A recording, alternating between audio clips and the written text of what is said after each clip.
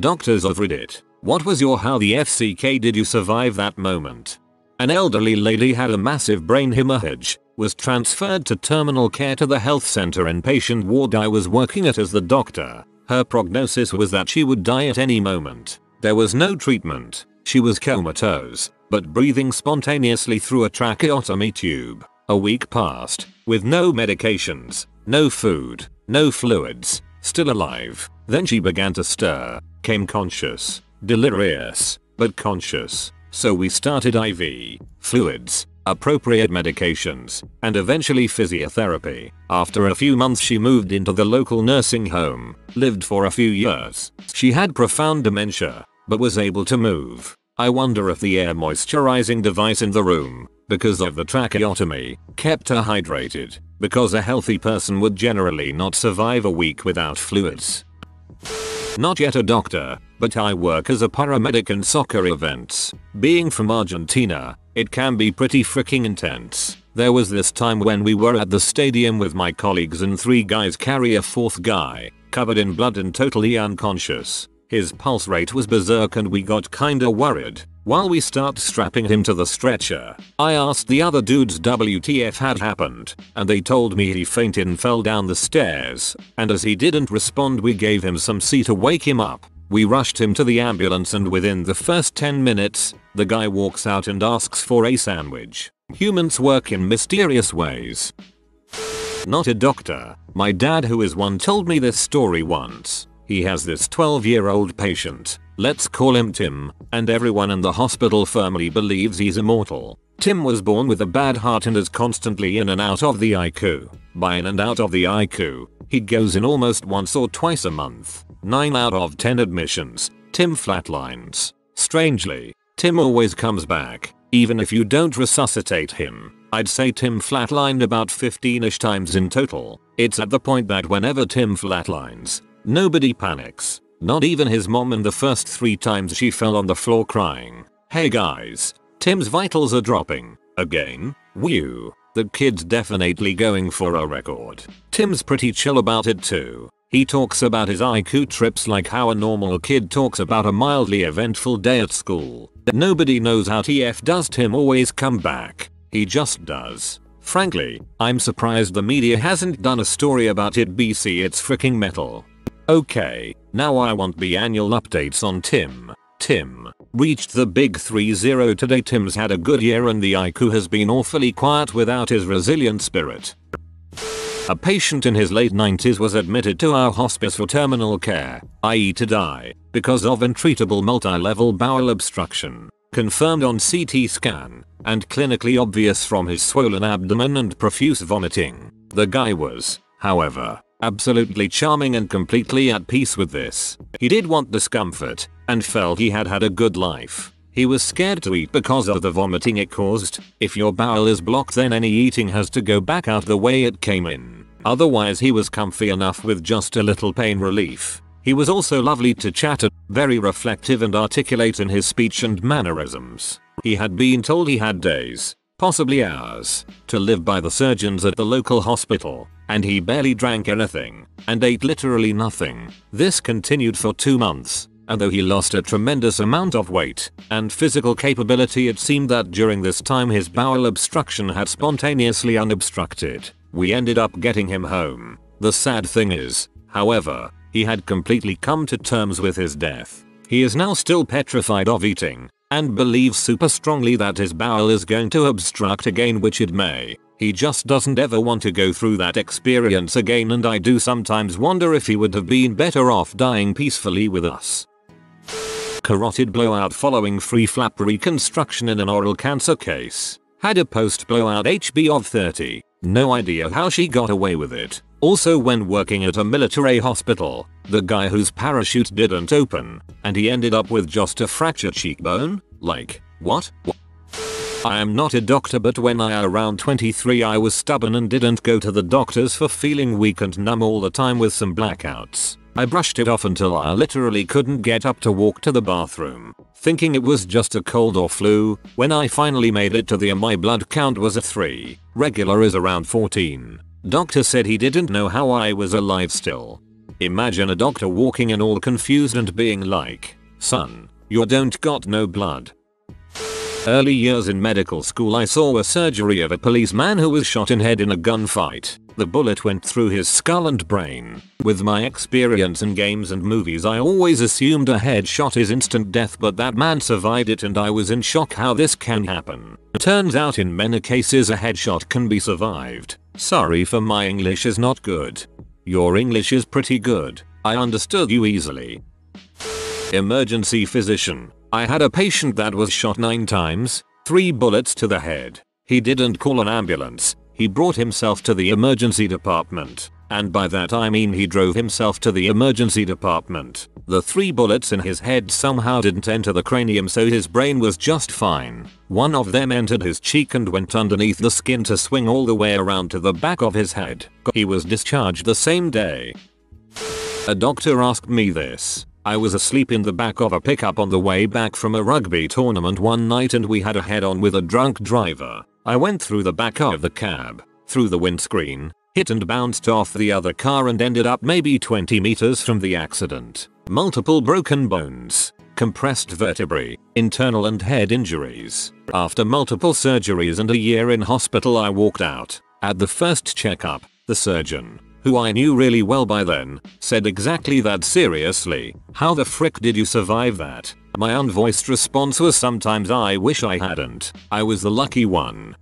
Paramedic, dispatched to shortness of breath and considering that a sob dispatch is typically BS, I wasn't all that ramped up when we came on scene. The FD beat us there and when we pull into the parking lot, the junior FF is running out to the ambulance to get us and says, we gotta get him outta here. No biggie. Let's see how the other FFs are acting. At the door, the engine captain is looking stressed and says, fittingly, we gotta get him outta here. Not good, but he's not a medic. What does the medic think? Brian, the medic, is an absolute rock star whose judgment I'd trust under any circumstance. Brain says, no crap, we gotta get him outta here. The patient is a 19YO, male, pale, cool, and sweaty skin, massive air hunger, and confused. Oxygen saturation is less than 70%. We are 8 minutes from the hospital. If I have learned one thing in the last 12 years, it's this. If your patient tells you they're going to die, believe them.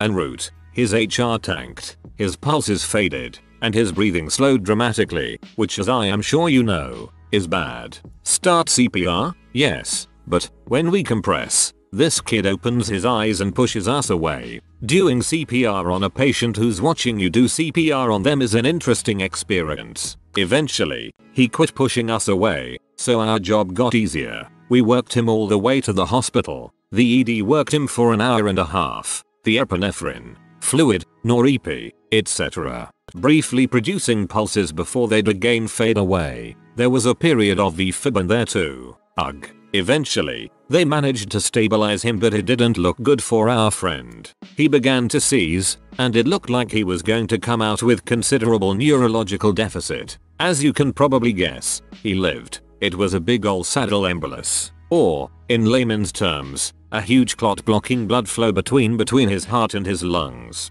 Kid had a known coagulopathy that he didn't manage. They told us on scene that he would joke that someday, he'd just drop dead. Well, not this time. Walked out of the hospital a week or so later without any deficit. How? I have no idea. Side note, that was the last call of an 11 year run at that job. Couldn't imagine a better way to leave. Frick yeah.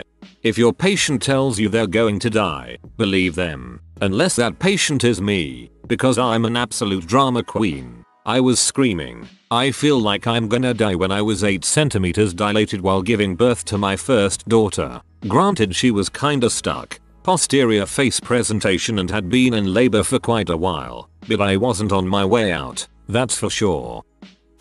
Obligatory not a doctor, ex-nurse though. This happened to my gran-in-law. She was in her early 80s, on blood thinners and took a nasty fall and hit her head. Quite a common injury unfortunately and she was admitted to hospital. The amazing part is that for 3 days her condition worsened and the signs that she had a brain hemorrhage went unnoticed. That is until she became unresponsive. Then we had all the bells and whistles. She was airlifted to a larger hospital and I spent the day preparing my family for the worst. The bleeding had gone unchecked for a long time and if she did survive prepare for her to be different. That Wonder Woman woke up a few hours after surgery with zero impairment, memory intact right up to hospital admission. It was an amazing recovery that we're all very grateful for. Obligatory not a doctor but was attached to a hospitalist at a pretty big teaching hospital for the summer as like a clinical assistant. This guy comes in for intentional foreign body ingestion. He swallowed a knife, about a 3 inch blade, and it was now lodged in his stomach. The gastroenterology team got photos of it and prepped him and somehow removed it. While he's on 24 hour watch to make sure he doesn't do it again, he manages to get his hands on a pen someone from the GI team left in his room and swallows that too. After it was taken out, we had to basically leave all sharps, pointy things, and swallowables with the security guard before we could go into the room. Not a doctor so sorry but I'll contribute. I will never ever forget a guy coming into the emergency ward with a freaking serrated combat knife sticking directly out of the top of his head. He was walking himself in. To this day I cannot comprehend that. I read this one where this chick tripped over while cooking or something then started experiencing a bad headache. She drove to the emergency room and found out that she had a knife sticking out of her head. Not a doctor. This is a story about my dad's best friend, or as he's more commonly known, the human kebab. So this guy decides to take his dogs out on a walk on a particularly cold Scotland morning and on his way out slips on some ice. Unfortunately he landed on a metal pole that was being used to hold up flowers or something. Anyway this pole goes in through his side just under the ribcage I believe and exits through his neck. After being rushed to the hospital and had x-rays and whatever done the doctors concluded that the pole had missed all vital organs veins and arteries and they basically just had to pull it out. This all happened many years before I was born but it still absolutely blows my mind. Upvote for the human kebab. Glad he's okay. Not a doctor, a family friend. As a teen, my friend's son had all sorts of bladder and kidney infections. The doctors could not figure out what was causing them. Finally they did a scan of his whole abdomen to try to see what was going on, if there was an obstruction or something else going on. Turns out he inserted a long wire up his whiner. He said it felt good. He lost his grip on the wire when it was almost all the way in and he couldn't figure out how to remove it. He didn't tell a doctor or anyone because he was embarrassed and thought he would get yelled at. He did a lot of damage up there, mostly due to infections. You hear about rectal foreign objects a lot but good god, that's gnarly. My husband was the patient. His doctor even wrote him a letter congratulating him on his recovery. He was jogging and had a heart attack collapsing on the side of the road. A couple found him and called an ambulance. He then arrested twice on the way to the hospital and had a balloon pump inserted on arrival, with emergency surgery to replace a heart valve just 12 hours later. To make matters even worse, he then had secondary complications and ended up in the hospital for 3 months with a nasogastric tube. In a really rough city in the US, a young kid comes in as GSW to the head. Head and torso is completely covered with blood but he is still semi-conscious after pre-arrival for trauma code, dead. Skin and hair are all macerated. Ace wrapped skull and sent to CT. No brain injury. Grazed to the scalp. Left AMA. Against medical advice. From the hospital the next day after 4 units of blood. He came back 2 weeks later with brain abscess due to him not taking antibiotics. He lived, needed a long course of IV antibiotics. I had another guy who had a bad dream where he woke up and said some guys were standing over him that said take him out before his dream ended. He kept on repeating himself. I think I was shot in the head when he arrived. I am chomping at the bit to examine him but the nursing staff have to trauma triage him to be a trauma before I can examine him. I don't understand that to this day, but anyway, long story short, they called him a trauma because he was repeating himself. He had bullets that was sitting off of his petrous ridge that entered via ear canal. No external bleeding. He didn't live though. He lasted 16 hours. Rolled well for the tough con saving throw but failed the simple int check later on. I'm the patient. At two and a half years old I had a stroke. I was in a coma for about 8 days. None of the doctors could believe it because I guess it's unusual for someone to have a stroke that young. Before I woke up, a doctor even told my parents to prepare for my death as I wouldn't make it. Well I still had brain activity, reacted to my parents touching me talking to me, not physically but they could tell by my brain activity. Eventually I opened my eyes, and very slowly progressed to moving. I had to relearn how to walk and talk, as part of my brain had died. Surprisingly I really don't have any side effects. I'm really lucky. I had to relearn how to walk and talk, and got better at it than you could before. I had a guy who took a 10 inch long metal pipe right between the eyes. When we came in the pipe was sticking about 4 inches out of his face. He was fully conscious and could move both eyes, a little pale, though. When we got the images the tip of the pipe was about 3mm from entering his brain stem. Dude made a full recovery, Paramedic here. Dispatch to a person who fell. Another update said unconscious. Last update about a minute or two before we got there was unconscious. Not breathing. CPR in progress. Lady in her 40s is dead. Like for real. She's cold, has rigor mortis. Pupils are fixed and dilated. Monitor shows asystole. Not only is she dead, she's been dead for a while. Fire department is doing CPR, but it seems futile at this point. I call the hospital to talk to a doctor. Hey, can we get orders to terminate resuscitation efforts on this patient I ask the physician on the other end. Nah, she seems kind of young, and I know it's probably futile, but go ahead and keep working and bring her on in was his reply. That's cool, no problem, we will keep going.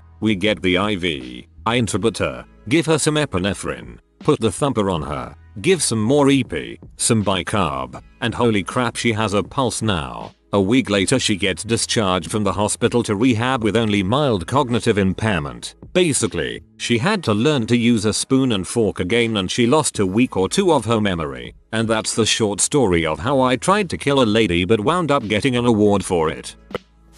So this happened in a third world country. Med student. It's Saturday evening. Pediatrics shift. The neonatal service sends us a newborn. The reason written is that they don't have enough places. The newborn had very high CRP, an infection marker, so very likely to die if he doesn't get the correct treatments he needs. And this is implicitly the reason why he was sent to us. They prefer to only keep the save, able patients since there aren't so many places. The problem is that our service was for grown childs, and it's not our specialization at all. Neurology plus endocrinology. We don't have the necessary infrastructure to help that kind of children. We don't even have the necessary drugs for our own speciality so for the others. XD. We need those heating beds, since it's a newborn. Without them you can give any treatment you want you will have no results. So after some thinkering we improvised one. We took some serums and we heated them in our oven. Then we surrounded the little boy with them and some random antibiotics.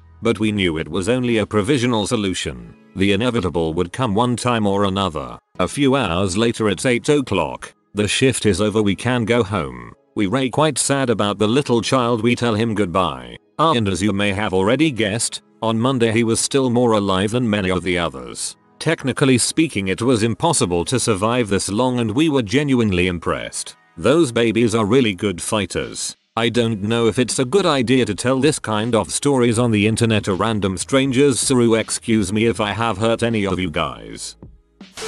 During my internship, I was working the free clinic and a man came in, I'll call him D, holding his own small intestine like a baby. As I was the only doc in the clinic, I was pretty freaked out. Anyway, I paged trauma right away, but his organs were outside his body for too long and he became septic and sadly did not make it. I still find it amazing that D was able to walk nearly 6 miles holding his intestine. That's incredible. While being investigated for muffins they discovered a PDA. I was 12 and had no symptoms except mild tiredness after exercise. I had surgery two weeks after the diagnosis. I was also exceptionally anemic at the same time. They had no idea how as I ate a healthy diet, anemic with a dodgy heart and a family history of hemochromatosis, excess iron. Then a decade later it was discovered I had valvular regurgitation in my heart, then a bundle branch block. This was only discovered because I had pneumonia. Then another murmur was discovered this year because my echo records were missing and my GP wanted to have a listen so I got them redone. I suspect if I see a GP for a flu shot they'll discover I've had 3 heart attacks or something. Surgical intern year. Guy came in from a hang gliding accident where he fell when a strong gust of wind blew him out of the sky. Luckily, maybe unluckily, he fell into a grove of trees. He presented to the trauma bay with a stick coming out of eye, saying he couldn't see out of that eye but had vision in the other. Initially we were impressed that he survived a 100 foot fall from the sky, but then we got the CT scan. Turned out the stick actually went through his eye, across his skull, and almost to the other side, about 7.5 inches inside his head. He amazingly was still conscious and talking before he underwent a 15 hour long surgery involving ENT, neurosurgery, and ophthalmology. Aside from losing the one eye, he made a full recovery.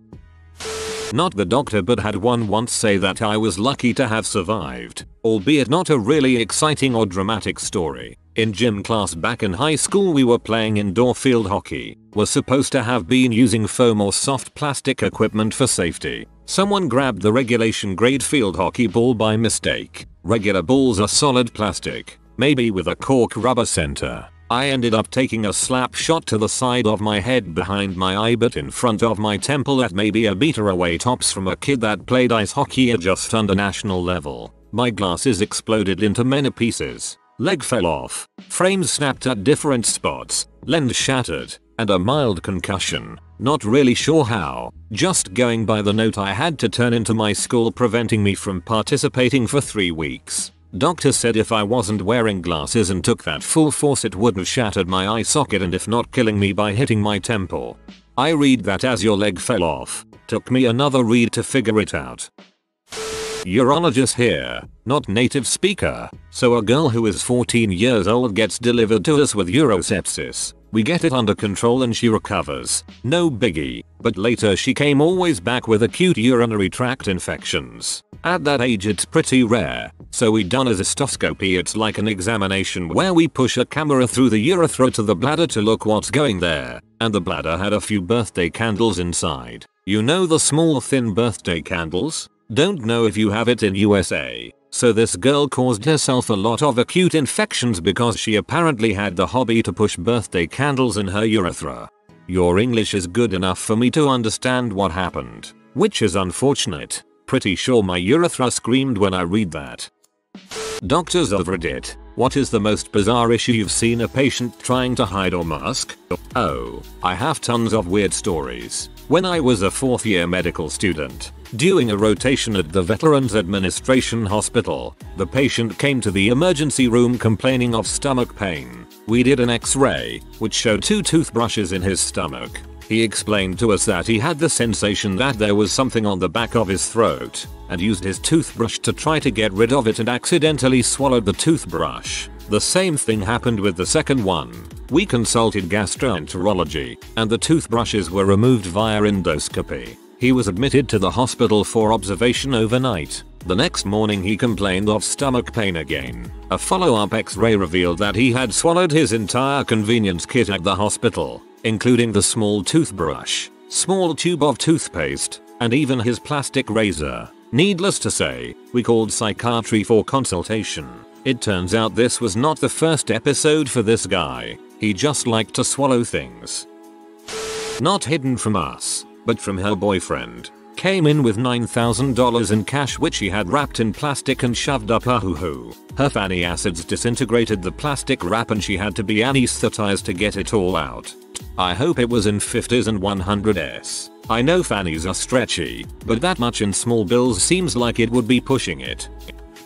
It wasn't the patient, but his butthole relatives. They came into my office to ask me to see this old guy because he had accidentally cut himself and wanted some stitches. I told them I couldn't do any stitching, lack of sterile equipment, but would have been glad to apply some steri strips if the wound allowed it, as long as they brought the man in the office. Request denied. They kept insisting I see the man at home. Fine. I loaded up my bag to go check on the old fellow. I found him in his bed, conscious but refusing to talk. With various superficial knife wounds on his stomach and a gigantic hematoma in the process of swelling up on his forehead. I flipped my crap and got the relatives to finally talk. They said the man had fought with his sister and decided to self-harm by repeatedly slamming a hammer on his forehead, had then tried to disembowel himself with a kitchen knife. They didn't call an ambulance because they were ashamed and didn't want to deal with assisting the man in a faraway hospital. I gave them 15 minutes to get their crap together and either call an ambulance or get the man to the hospital themselves. Never knew what became of him. Sounds to me like the sister did it to him. I had a lecturer who told me about a homeless guy who regularly presented to ED claiming stomach pain. He would get an abdomen x-ray which showed a bunch of wire inside his abdo. He would be added to the next day's emergency theater list, get a hot meal and a bed for the night before hooking it the next morning and self-discharging before surgery. He had purposefully pierced his belly with a wire coat hanger and fed the thing inside himself so he could go around to hospitals and score a free hotel room for the night. This is somewhere with universal healthcare so even though he was a regular and the hospital staff knew him by name, they couldn't refuse treatment and couldn't force him to have the coat hanger removed either. I'm kind of wondering why they're feeding him prior to surgery. Usually it's nothing by mouth. Sent a male patient into the bathroom to collect a urine sample. Took him much longer than expected. He misunderstood and gave a semen sample. I swallowed 3 razors on a bet. After we saw how many he'd ate. Okay, it was 8 inches. After visit with psych doc. Okay it wasn't a bet. Sorry because English is not my first language. I'm a neurologist in Spain. We were brought a patient with an acute stroke in the morning. Asking him about how it happened he said he had gone out for an early morning jog when he fell down unable to move the left part of his body. An hour later a nurse asked him the same question and he gave another different fake answer. It turns out he had woken up early, left his house, and he was fricking a prostitute when he suffered the stroke. It was this woman who called the ambulance. The tough part was meeting his family. Had this dude when I was a medical student while on surgical service, got consulted on priapism, asked the dude how long he had direction, etc etc, and he just said yeah, his dong hurts, not sure why blah blah blah. Then examined him, and dude's dong was quite literally a cauliflower of warts. Turns out, he had HPV and HIV, and didn't take his heart meds, and this isn't the first time it has happened. Cleared up after starting to take his heart meds previously. 2. I've got one. I had my nose straightened and septum shaved after I broke it like a dumbass. I woke up after anesthesia feeling like the fricking man. After about a minute of being awake, I tore out my IV, stood up, and started walking out of my room because I was going to walk home about 3 miles, and finish that one mission in Heroes of Might and Magic 3. I walked past a nurse and she said you're bleeding. Haha, no, I feel amazing.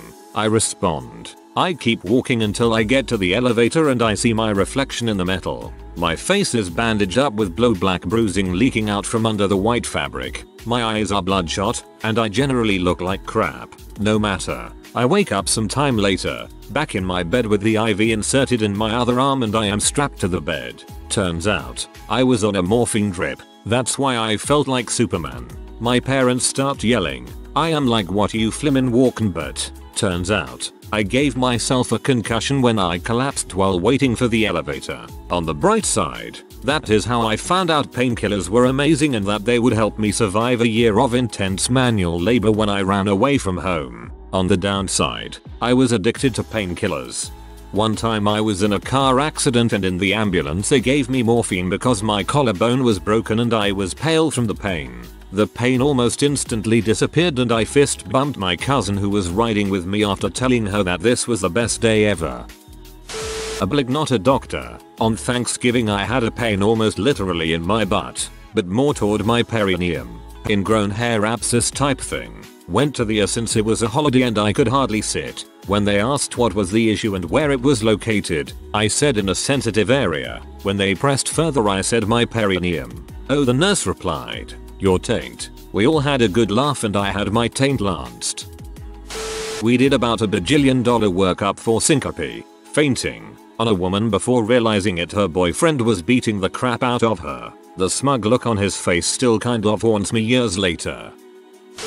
From a doctor friend, in Provincetown, a man came in complaining of severe burning pain in his urethra, even when he wasn't peeing. Doc couldn't find any reason why, and the guy couldn't provide any. Finally asks the guy what he does. He says he works at a popular gay bar where, oh, he does champagne shots. That's when you fill your pee hole with champagne, then get up on the bar and pee it into the mouths of paying customers. He did dozens every night.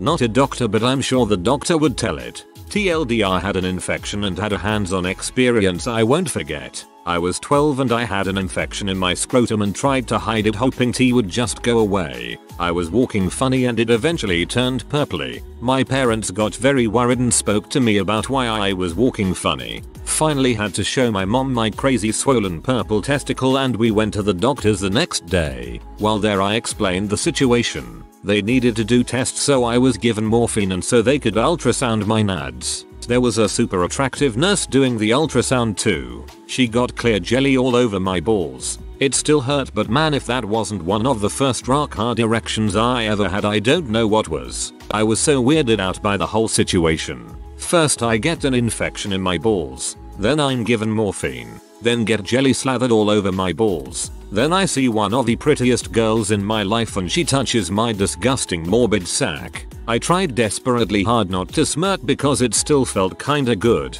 also being ticklish, but every couple seconds I would giggle and smile but then a quarter second later it would hurt and be painful. So it was a roller coaster, especially for being so young. It went on like that for at least 5 minutes. Don't really remember what the problem was but if I recall correctly I had a bacterial infection. But it cleared right up and I was fine. I think the only lasting effect from that was that women with short hair are still very attractive to me. Doctor and nurse if you're reading this thank you but holy crap was that confusing. First I get an infection in my balls. Then I'm given morphine. Then get jelly slathered all over my balls. Then I see one of the prettiest girls in my life and she touches my disgusting morbid sack. Dude, say no more.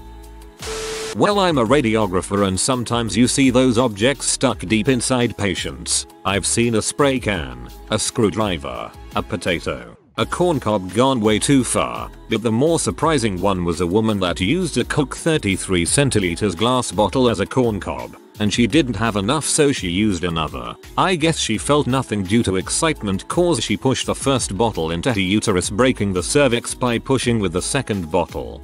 When I was a med student we had a guy with a rolled up newspaper, Sunday's paper, quite a massive thing, in his rectum. We stood around the x-ray laughing when another student said that he couldn't understand how someone can swallow a thing of that size. He was totally earnest and probably the most naive person I've ever met.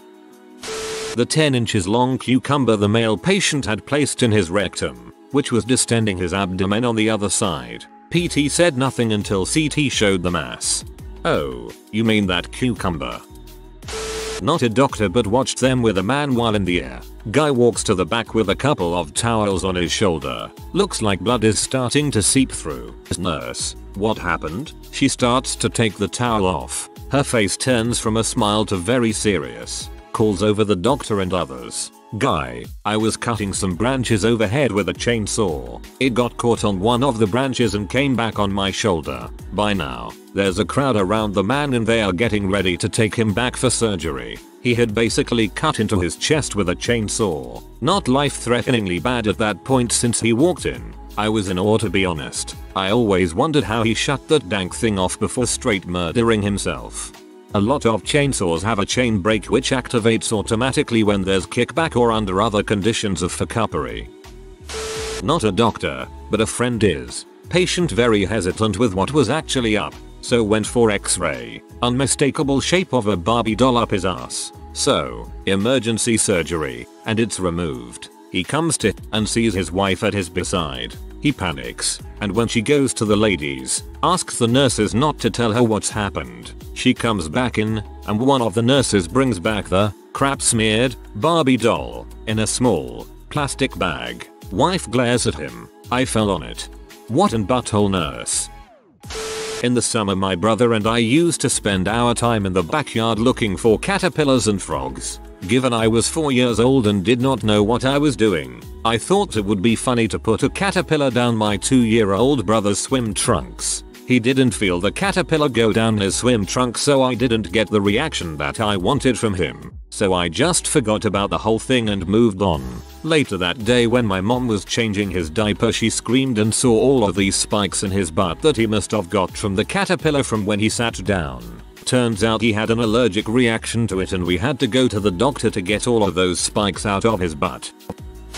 Lady presented multiple times requiring admission for systemic infection found to be a weird amoebiasis. Its docs were very confused. This was in the middle of a US suburban area. She was drinking her fish tank water to get sick. Morbidly obese lady came into the ED altered and obtunded kept responding to Narcan then getting obtunded again. Three fentanyl patches eventually found hidden on the undersides of her pendulous breasts. Prostitute with a murder kit including a large wire garrote 4 knives and various poisons in her handbag. And of course the guy who came in from jail in excited delirium with an uncomfortably large quantity of methamphetamine hidden up his butt. Physical therapist here. Treating a patient with a traumatic brain injury post car accident. Was just getting him moving when I noticed he kept picking at his beard and then putting his fingers in his mouth. Couldn't see anything he was physically eating. Figured it was some sort of tic after the TB. Wrote it in my note and sent it to his physician. Looked in the note the next day before his visit and saw that they had discovered he had brain matter and cerebrospinal fluid leaking out of his nose and he was eating it. It was clear so I couldn't see. When I was in the hospital, there was a homeless man that was beyond drunk. This guy was next level crap. He had two doctors, three nurses, a cop and an orderly trying to keep him restrained. He thought he was forming coherent sentences but the words I'm not freaking drunk came out several times, along with I don't even drink alcohol. IT was rainwater. They kept telling him they would sedate him if he wouldn't stop his wild behavior. They couldn't because of his bowel. Every 20 minutes he would get riled up again and same crap all over again. Eventually, he admitted to alcoholism and the cop left and two doctors looked after the man. Dude even ripped out his IV. Met anyone can rip out an IV. What's impressive is seeing a man rip out an inflated Foley catheter. I did an internship with a doctor, dermatologist, and she told me that one day a homeless guy came to the hospital with a bandage on his foot and saying it was painful. The nurses were afraid to take care of him because of the horrible smell and discover what was under the bandage. The dermatologist was called and she did it herself. When she opened it the foot of the guy felt off. He got an infection and lava started to eat his foot. Sorry for my English. Semi-rotten sandwich found lodged within the folds of an heartbreakingly obese patient's panniculus during an emergency procedure count? Pregnancy. Patient arrives into a triage. She is in her early 30s and was complaining of lower abdominal pain and nausea. The British triage nurse, who tells this story best, says the poor woman was bent over double in her chair, from all accounts, she was a relatively skinny individual. In order to make sure there was no emergent, emerging emergency, our triage nurse has a peek at the patients downstairs. She was greeted by a crowning baby. The nurse bolts up and runs into the air and grabs my attending. Sir, she's up the duff confused. A brief who's on first exchange ensued before my attending and I ran in, just in time to catch a healthy 8 pounds baby. There are several other incidents similar to this, but none so pronounced. Mother denied being pregnant up until the moment her baby girl was on her chest. TL. DNR. Duff denied. Nurse pride. Mom lied. Baby cried. My best friend's mother is a nurse. Since we've devolved into tell whatever story. One night, as a joke, he decides to show her one man, one jar. Hilarious thing to watch with your mom. Right? Anyway, this woman deadpans the entire video and follows it up with, oh, is that it? Okay, dumbfounded. We ask what she could have seen that could possibly be grosser than that, right? She proceeds to tell us, in detail, about a man who stuffed a hamster into a condom, then shoved the rat bag up his butt. The hamster then, out of suffocation, chewed through the condom, clawed its way deep into the rectum, where it drowned in a mixture of blood and crap after shredding his colon in a frenzy. Like some fucked South Park joke. She was part of the team that had to retrieve it. His mom always seemed like the demure housewife, but damn, that lady has seen some crap. I had a patient who instead of treating her choice to have artificial donor insemination as an empowerment move had everyone else convinced that he had a deadbeat dad who took off when he was born. She felt that this made her look empowered because she stood up as a single mom. The now school age kid knew but was horrible at lying. When I asked him what life was like at home he said something along the lines of good. Just me and mom. She's a good mom. Pretend dad ran away. There was no real dad though. What the frick, mom?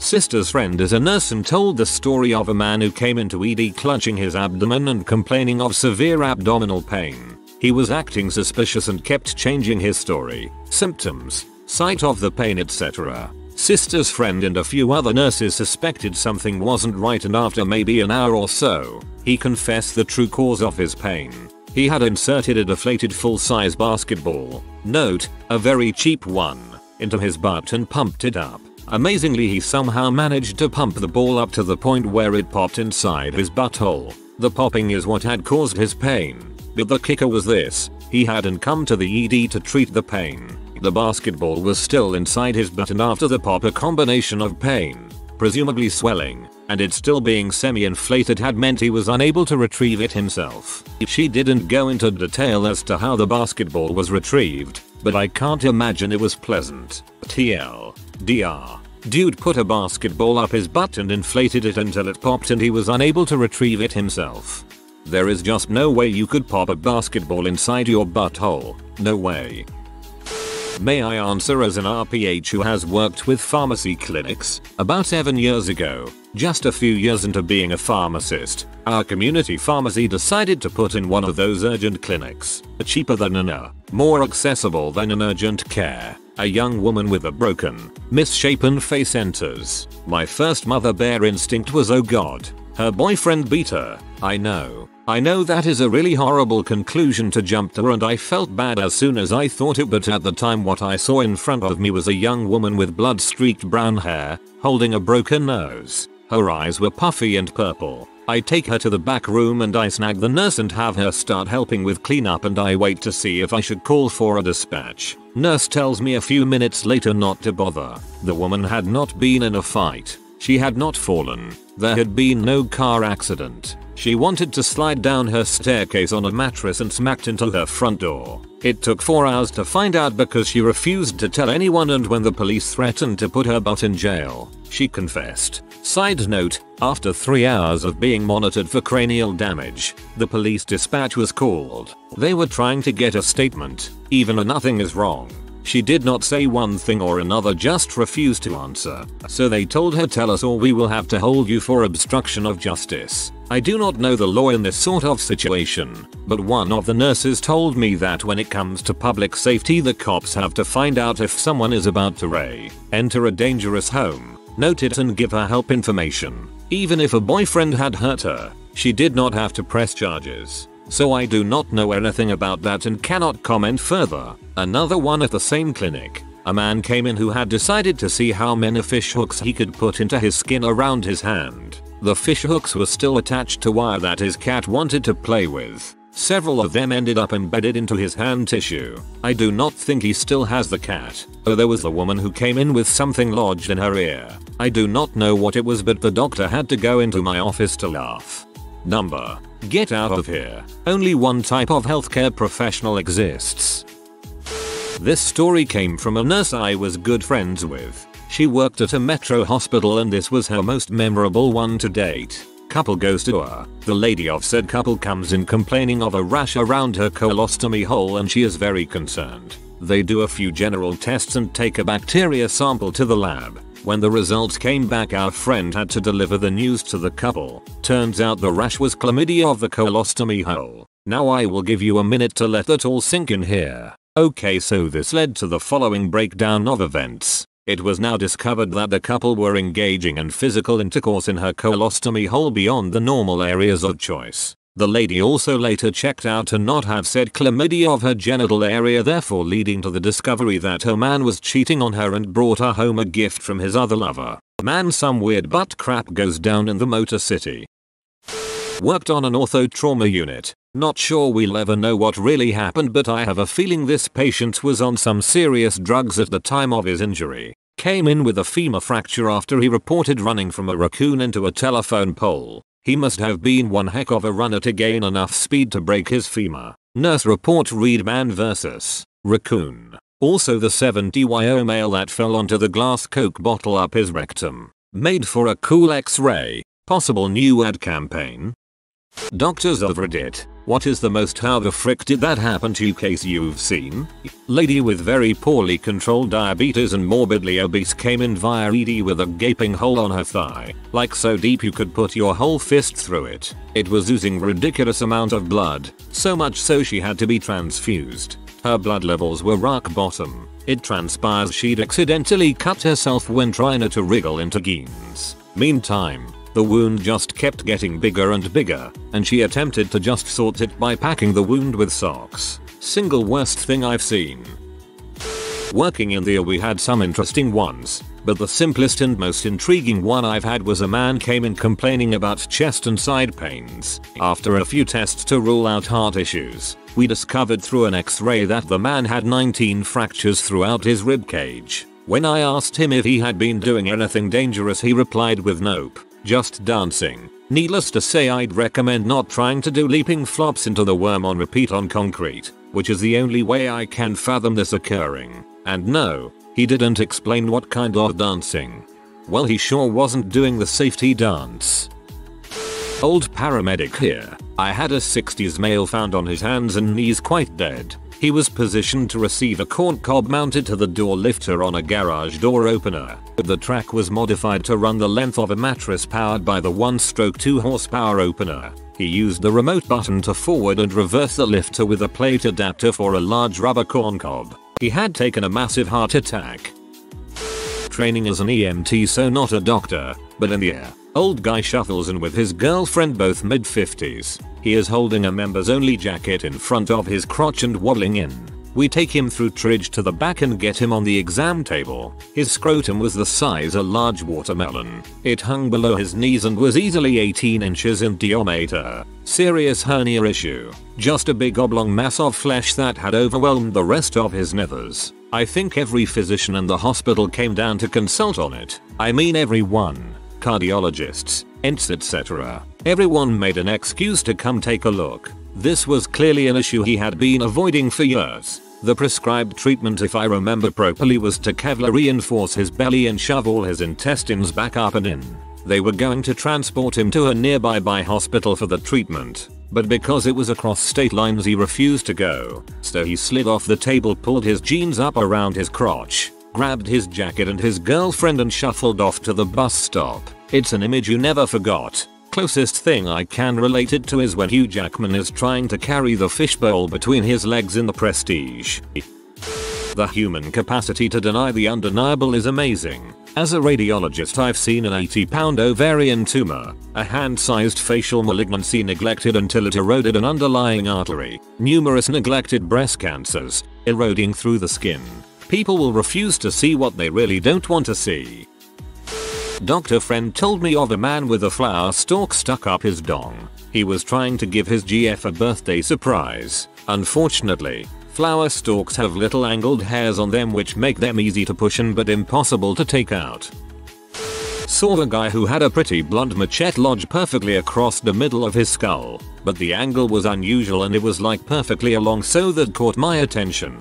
Turned out the guy had, unsuccessfully, tried to murder his wife with the machete and later regretted it so he hit himself in the head with it. He held it with his hand, sharp side front and gave himself a whack perfectly in the middle of his skull. Thankfully the machete barely made it into the skull and since it was along the middle it didn't touch any brain tissue. Work in a burn center. For 3 months in a row we had 3 different people come in because they tried to commit suicide by setting themselves on fire with gasoline. I cannot imagine what brings someone to that point to think that's a good way to go out. Those burning monks, protesting the war in Vietnam, come to mind. Not a freaking peep, while they sat there cross-legged. I don't know that I understand human. I have an amazing how the frick did that happen to story. End of nursing school did the rotation internship in the OR. Large urban hospital. Get a call that the hello is bringing in a 17 year old with a severe spinal injury. Call in the specialty surgeons and they get to work on this kid. He has C3 through C5 fractures from a diving injury. Docs work on him 4 hours with very little hope that he will regain anything below the neck. Once the surgery is over we are all exhausted but the surgeon wants to see what will happen if we wake him up. With respiratory standing by we bring him out of anesthesia. He starts breathing on his own. He opens his eyes and responds to his name. Holy crap awesome. For some reason I was near his hand. I saw small movement. I said nothing. I grabbed his hand and squeezed. He squeezed me back. Holy freaking crap. Mind you I'm just a nursing student but I yelled the surgeon's name and said he just squeezed my hand. Surgeon called bulls until he saw the kid raise his arm. The entire all was silent. This kid should have been a quad for life but by some miracle he was moving. The feeling of seeing that kid's arm move is something that I will never forget. I tried to keep track of his progress but the last I heard he was killing it at physical therapy and had regained almost total control of his upper body. Just last week I had a guy over 400 pounds, BMI 60. He was a hoarder and kept getting cellulitis in his legs because his house was so cluttered he kept hitting his legs into things and getting cuts and infections. When he came in we had to remove his socks with scissors because he hadn't taken them off in over 3 months. His socks had embedded into his skin and somehow become one. I didn't learn in medical school how that happens. I once had a patient that got pregnant despite never having fricked. She had severe vaginismus and was not able to ever have anything go into her fanny, but her significant other ejaculated onto her and apparently one little swimmer found an egg. Had a lady come to the Morgan pieces for several days. She had fallen off a catwalk thing into an industrial fan that had no guards due to a cleaning being performed on that area in a factory. They were having trouble finding all of her. It wasn't explained to me until 3 days after the first piece showed up so I thought there was a serial killer out there for a bit. I didn't see morgue the first time I read that and was very confused. Back when I was a medical student on a urology rotation we had a guy come in after butterflying his dong with a fillet knife. This occurred after consuming a lot of C. It was his third time doing it, all three in a fit of C-induced psychosis. You'd think he'd steer clear of the old Bolivian marching powder after the first two times. Comma butterflying his dong with a fillet knife. I don't know what that means, but holy crap do I not want to know. Nurse here. Had a patient come in due to pain in her chest 4 months after having a mastectomy. When we changed her dressings the site was so infected that I could see her lung inflating when she took a breath. She died a week later. Still don't know why she didn't come in earlier. Bro, I can't even begin to imagine how painful that had to be. Heartbreaking that she died. Had a lady in the who had a celeb in her rectum. She was extremely embarrassed but came to the department for removal. We took an x-ray, she had pooped it out and didn't even feel it come out. Got a bill and mortified.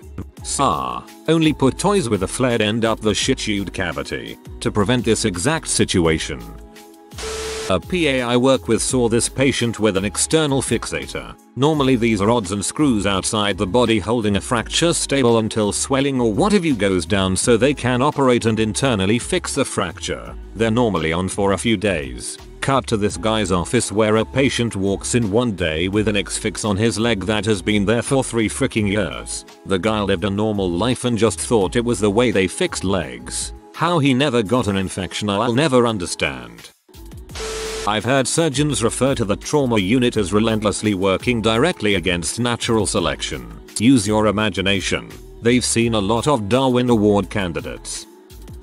Not a doctor, post-surgical nurse, had a guy with necrotizing fasciitis, flesh-eating bacteria, on his scrotum.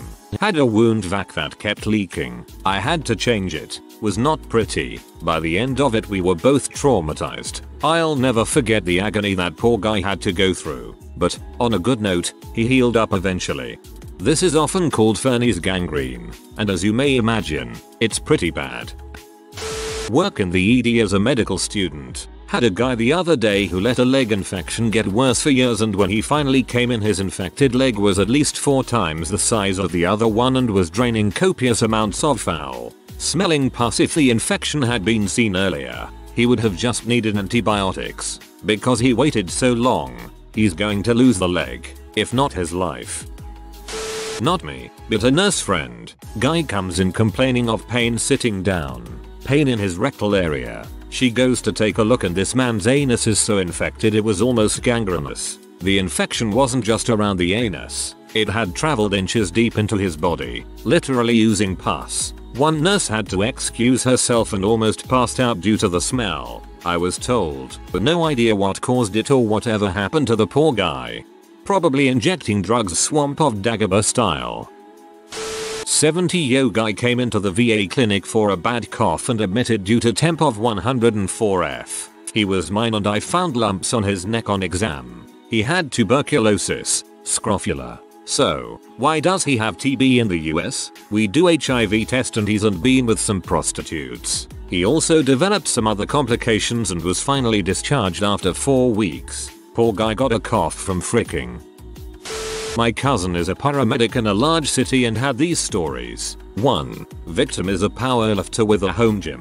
Tries to squat too much weight, and on the upward push herniates his sphincter. When he got there the man had 6-8 inches of his small intestine coming out of his butt. Apparently the medical street slang for this is red socking yourself. 2. Victim is a man with a flashing fetish. Late in the night, he walks to a 7-Eleven, waits until the female cashier turns her back, and then opens his jacket so his erect member is lying on the glass countertop by the register. In a panic, the cashier grabs the first thing she could find, a can of tomato soup, and in an adrenaline rage brings the can down on his erect dong. He said this apparently almost entirely severs the man's dong, which fully erect is moving a lot of blood through it. He said the man nearly bled to death and the 7-Eleven looked like a murder scene when they arrived. 3. Victim is a morbidly obese man, completely naked, masturbating with a can of soup lubed with honey he is shoving up his butt. In the process, he stimulates his prostate nerve too much,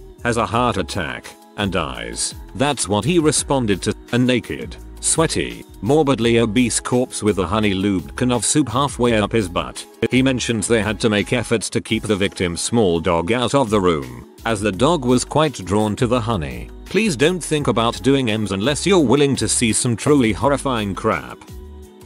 Not a doctor but former psychiatric nurse. I have seen all manner of weird and wonderful things yet the most perplexing was a young girl we nursed in PICU with history of pica. When we took her for x-rays, due to her complaining her stomach was hurting, we found a belt buckle, a full-size spoon and butter knife as well as an assortment of batteries. As far as I recall, as it was some time ago now, they had to operate immediately to remove and again if I recall correctly it was the batteries they were most concerned about as if one exploded started leaking it would have caused irreparable damage. I have never seen a set of x-rays like it and seeing was believing. Incredible how the heck she managed to get them in there but never underestimate the willpower of psychosis.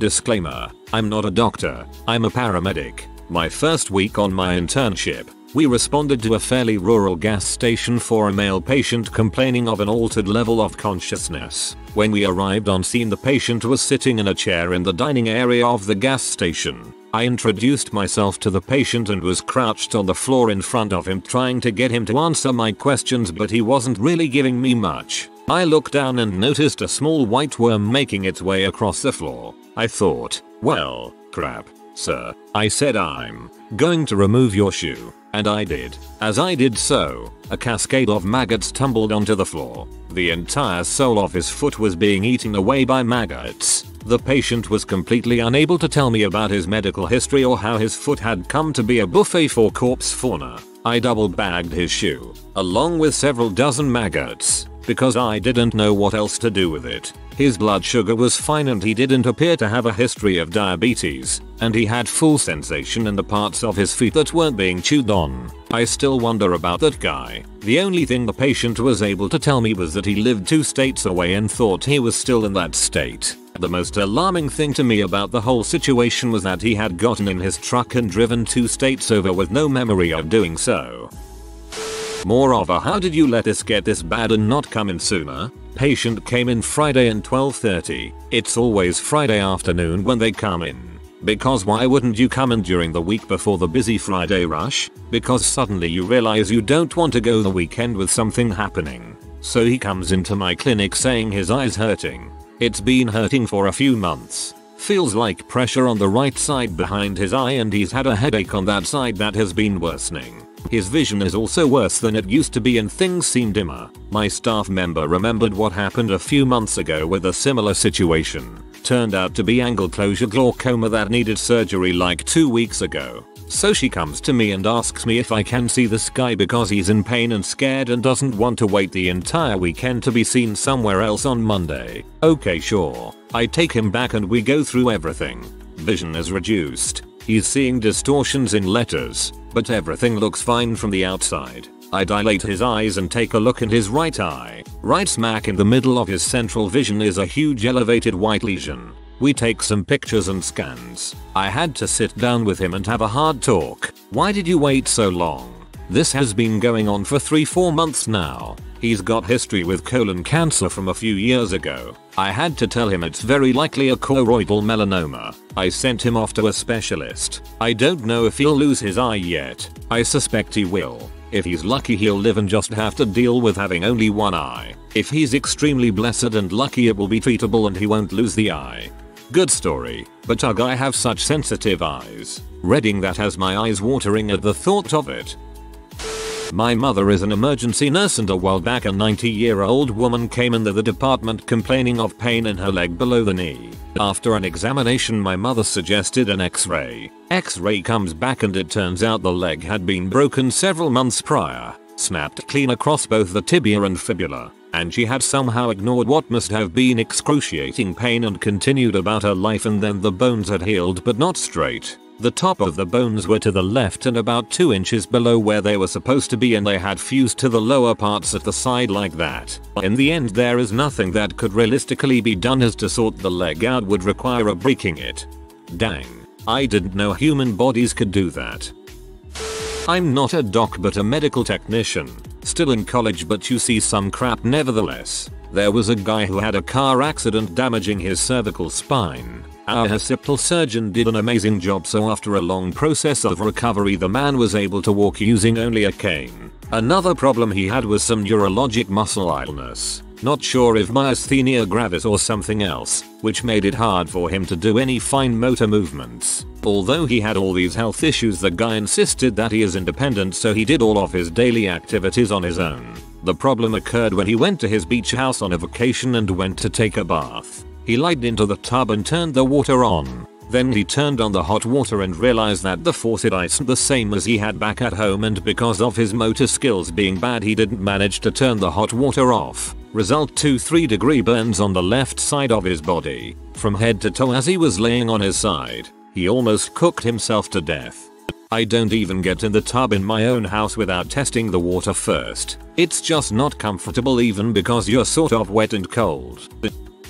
My doctor was very confused how 9 year old me managed to completely rip my big toes nail out at 3am. I tripped running down the hallway on the way back from the toilet. Cause you know monsters and slid along my carpeted hallway. The friction between my toe and the carpet ripped it out.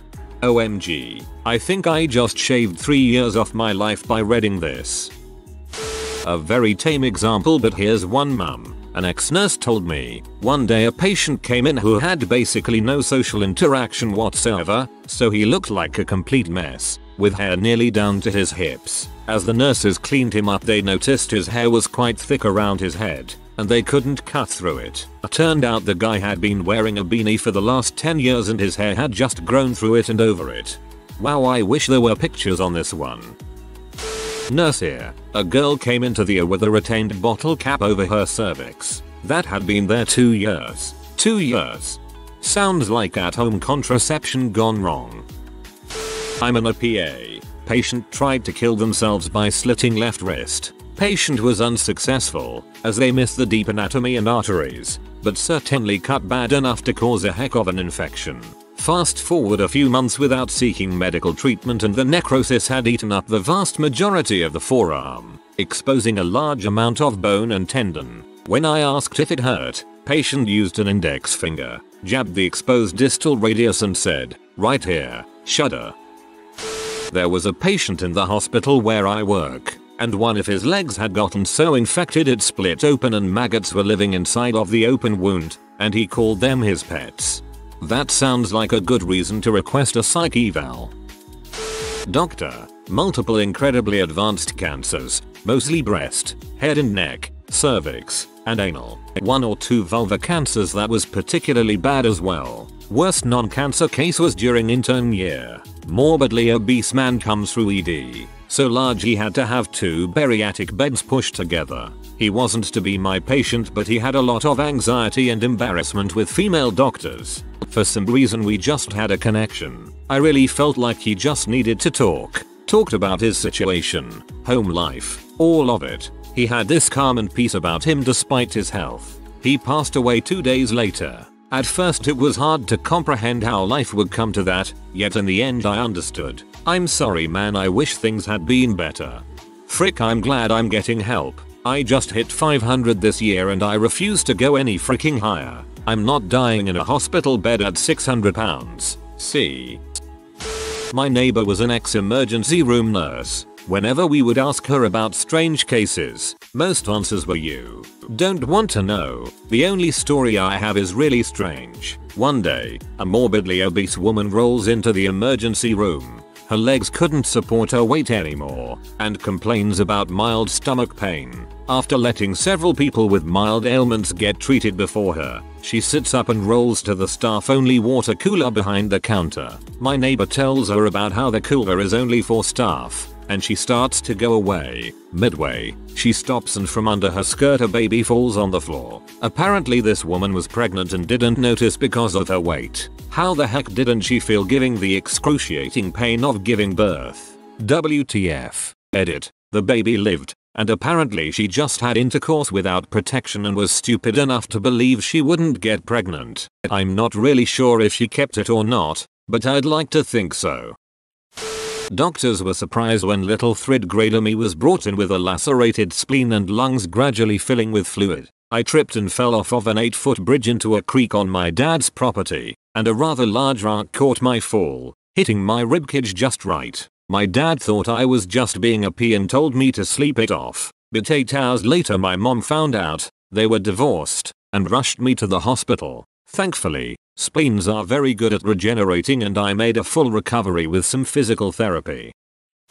So, my top moment of how the frick did that happen was I was on my internal medicine ward's rotation. I had this guy in his late 60s come in. They told me it was an admission, but they were stupid vague. So, whatever. I go in and I notice on his left hand was this golf ball sized blood clot with a bruise that extended to his elbow. Now, I want to make sure this image is clear. There was a black purple golf ball sized oozing ball on the back of his hand. Still with me? I, like with all patients, ask what brought him to the hospital. Well, you see, I went to my psychiatrist, cause I've been having problems sleeping.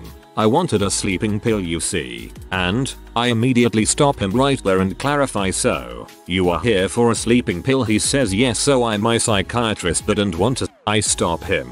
Say haha, no you are here cause of your hand. What happened with your hand he kinda ignores me, wanting to just blow it off. I refuse to let him talk to me about anything else till he tells me about his hand. Long story short, he was on a blood thinner called warfarin. There is a measure of how the blood clots called the INR. Normal people are around 1.0. People on warfarin are often aiming for a 2.03.0 INR. His was fricking 9.0 and the mother wanted to leave when I told him that. I had to put him under a legal medical hold to fix it so that he didn't turn his head too fast and have a brain bleed. By the end of his admission, he admitted to like taking all the random OTC herbal crap online cause he read it was good for him. Serious, military docs. What are some interesting differences between military and civilian medicine? Army surgeons in early days of Iraq got quoted in it saying major diff between military and civilian patients is the troops are in perfect health up until the moment they are injured in combat. It makes for easy, almost textbook perfect surgeries. Nobody has other chronic problems that would complicate matters. Other thing they mentioned was that if they requested medical equipment, it was flown in 24-36 hours later. No questions asked, they'd never seen operating rooms with so much redundant equipment. All of it state of the art. No need to delay for a few hours a medical procedure until a facility or piece of equipment was available. Medics learn a lot of stuff on the job that they would never be allowed to do on civilian streets. Suturing, injections, etc. I'm Vietnam era and rotated through several hospitals in Germany. Doctors were happy to teach. Oh, and I helped with several deliveries. Traditionally military dentists can work freaking voodoo magic with amalgam for dental work. In the civilian world we just use resin composite, the tooth colored stuff, with a bonding agent. The reason I say voodoo is that amalgam silver fillings don't actually bond to anything. It's a held in with physical friction and structure. You have to drill the tooth a certain way to make sure it doesn't fall out and I've seen some work on veterans that are over 20 years old and I have no idea how they made it stay in place in the first place. I found the opposite. I'm currently several thousand dollars into fixing the questionable dental work I was forced to get in the military. They wanted to replace a couple of childhood fillings I had. Somehow I ended up needing surgery to repair my jaw, 4 caps, and 2 root canals. There is no confidentiality, or rather, it is very limited. If a patient tells you they used drugs, or did something against regulations that impacts performance, you're obligated to report it. But it's more than that. I haven't been on a military base for some time, but back in the day it was common for people to check the online scheduling system, via CHCS, to see which co-workers had appointments with certain doctors. Unlike Epic, there was no record kept of these searches, so what would happen is a boss or clique at work would treat a person differently all of a sudden and it would be a sign that they checked CHCS. It's not fair, but in the military being active duty and seeing a shrink is not viewed compassionately. It led to a lot of resentment to us in the mental health clinics, which I can totally understand. We were trying to help, but even stepping foot in our office would endanger their career. To be fair, administration would do what they could, but ultimately changing the culture and the computer programs takes a lot of time and effort.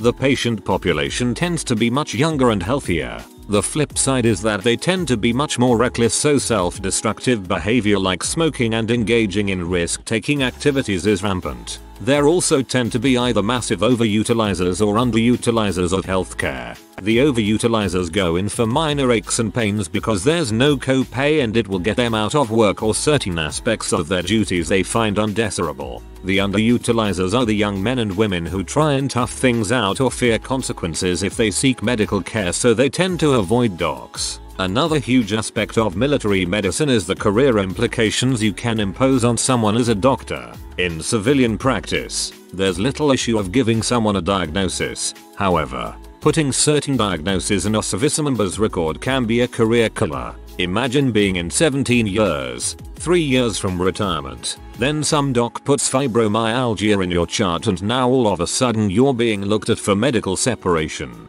Medical was underutilized on the ships I was on because the solution to anything wrong with you was to get put up in your rack for a day and drink lots of fluids. So now you're stuck in your rack all day but you still feel like crap and nothing was actually done to solve the issue. It depends on if you are in garrison, on base in your home country, or deployed. In garrison, medical procedures are rather complementary to civilian counterparts. It is when you are deployed that you have a more carte blanche method of medicine.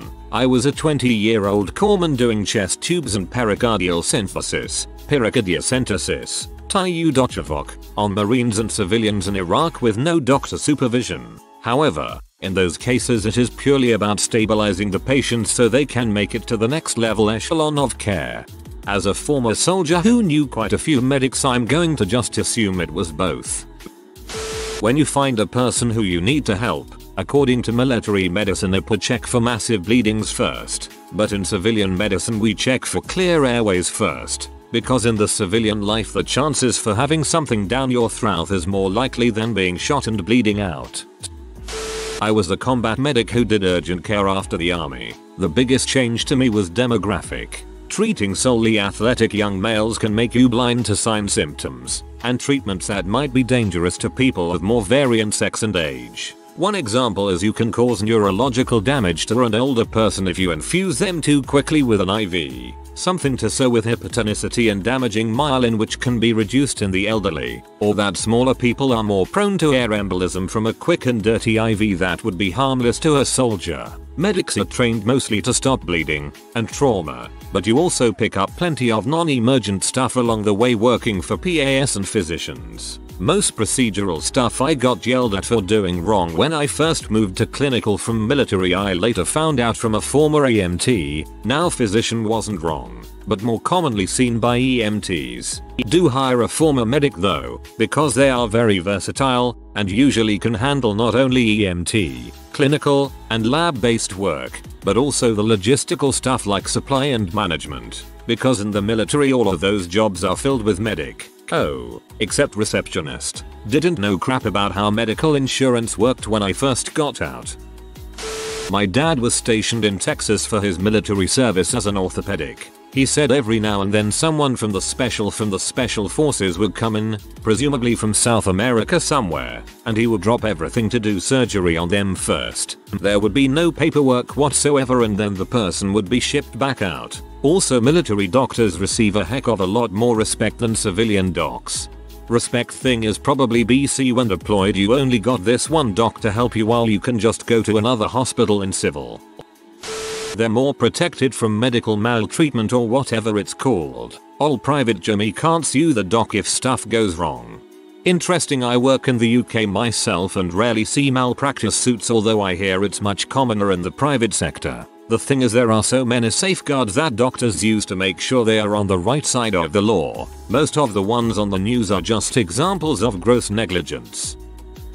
I'm not a doctor but I'm a career submariner. The docs on US submarines are not actual doctors but independent duty corpsmen. They attend a one year school that's basically a crash course. They learn 2 years or medical school in that year. Once the sub departs that E6 or E7 is the only guy capable of keeping the crew alive should something happen. I've seen them do some amazing stuff. They are truly the unsung heroes of the sub force. I got told this by a friend who was submarine officer. He said Navy put its best corpsmen on subs, with the fuck ups getting assigned to the Marines. I'm a civilian EMT, but in the National Guard I'm an MP. In Army Basic they teach every PVT regardless of their MOS how to do interventions like the needle chest decompression, something myself and my colleagues are unable to legally do in the civilian world until we are at least paramedic level. Yep, I was a clerk typist, but I learned how to bandage a sucking chest wound in basic training. I used to be a doc before transitioning to a civilian urgent care. What acceptable levels of clean are? When I got trained on IVs the doc teaching me literally held it in his mouth while situating everything. Gloves are a good part of medicine too but it's more of a suggestion in the military. Also the amount of expired meds we carry around is ridiculous. We very rarely get new stuff and so you're supposed to make it last. In our defense though needles don't really get less sharp with age but still. I watched a sergeant spit on an NPA to jam it down a guy's nose. Yesterday, in a civilian hospital, I watched staff throw out a whole heap of meds because they were a day out of date. Your priority in a combat zone footage is to figure out who can still shoot. When you place someone with trauma to their lower limbs on a litter, leave their arms unrestricted. Just because your legs don't work doesn't mean you can't fire at downrange. My dad knew a dentist in the military who said it was boring as heck. It was all young healthy men who'd already had any major problems fixed so he just ended up doing a lot of fillings. He quit the military when he could just so he could do more interesting civilian cases. Medics also have a few specialties. I was an army medic orthopedic specialist. The scope of practice and experience is dependent on how knowledgeable and competent the surgeons feel you are. On deployment it was essentially no holds bar as far as what what procedures we were allowed to do. A benefit to no insurance or liability. This included actual surgery on wounded and routine cases on active duty military personnel. Yes that is cutting and suturing under the watch of the surgeons. It is a little hard for me to remember but as other people have stated we were definitely doing things that would only be done by a physician in the states. You can have immense responsibility as a a E5 sergeant if you are up for the task. That includes being responsible for ordering and fitting millions of dollars of equipment, Stryker, der oil, casting supplies, etc. You can be the, the casting clinical supervisor and when the orthopedic clinic supervisor goes on leave you're in charge of that as well. Other responsibilities can include key custodian, MSDS book, making sure everything is sanitary, JCAHO compliance, etc. Basically jobs that would be done by multiple people in the civilian world done by one soldier. You can also side train and work with prosthetics, physical therapy, and occupational therapy to ensure the continuity of care. The surgeons I worked with in the military were great including hospitals and clinics in Germany, Walter Reed, and Brooke Army Medical Center. On a side note the VA care I get is amazing. Frontline triage is backward from civilian life. If someone with a broken pinky and another person with a sucking chest wound come through the door at the same time, we're fixing the broken pinky first. That way you can hand him his gun and send him back out the door to win the fight, lest we all become casualties. It's back to normal once you're away from combat, but in the heat of battle the immediate concern is to get people back into action as soon as possible. My dad was an ophthalmologist in the Air Force. He mentioned how there was a big difference between the civilian practice and military, mostly the culture of it all. It was doctor, last name, not major, last name. As a military doc you're normally treated like a civilian more than any other officer, and you get big bonuses for retention. It's because it's more cost effective to pay bonuses to the less common medical specialties to stay in and work, when they are paid, 2-3x, less than a civilian counterpart, than to send patients off base and deal with TRICARE paperwork. The payoff is the preparation though. Typically you come out of a commitment without school debt, especially if you hit 20 years. You can say things bluntly to your patients like look sucker, of course you're not getting better because you're doing nothing I freaking told you to. As some people have stated, a major difference is that certain diagnoses can change your entire career. However, I personally never saw anyone's career ended by a diagnosis. I saw many people unable to get a proper diagnosis because it would end their career. I worked on a submarine and the nuclear weapons personnel and nuclear engineering personnel had some of the most strict medical requirements in the military. Additionally, their communities were all critically undermanned fleet-wide. The only treatment any of them ever received for anything not life-threatening was megadoses of ibuprofen. Fractures, second degree burns, torn ligaments, a panoply of dermatological problems. Here's a bucket of ibuprofen. Non-nuclear personnel with the same problems would receive much more thorough treatment, and civilians with the same problems would receive much more thorough treatment.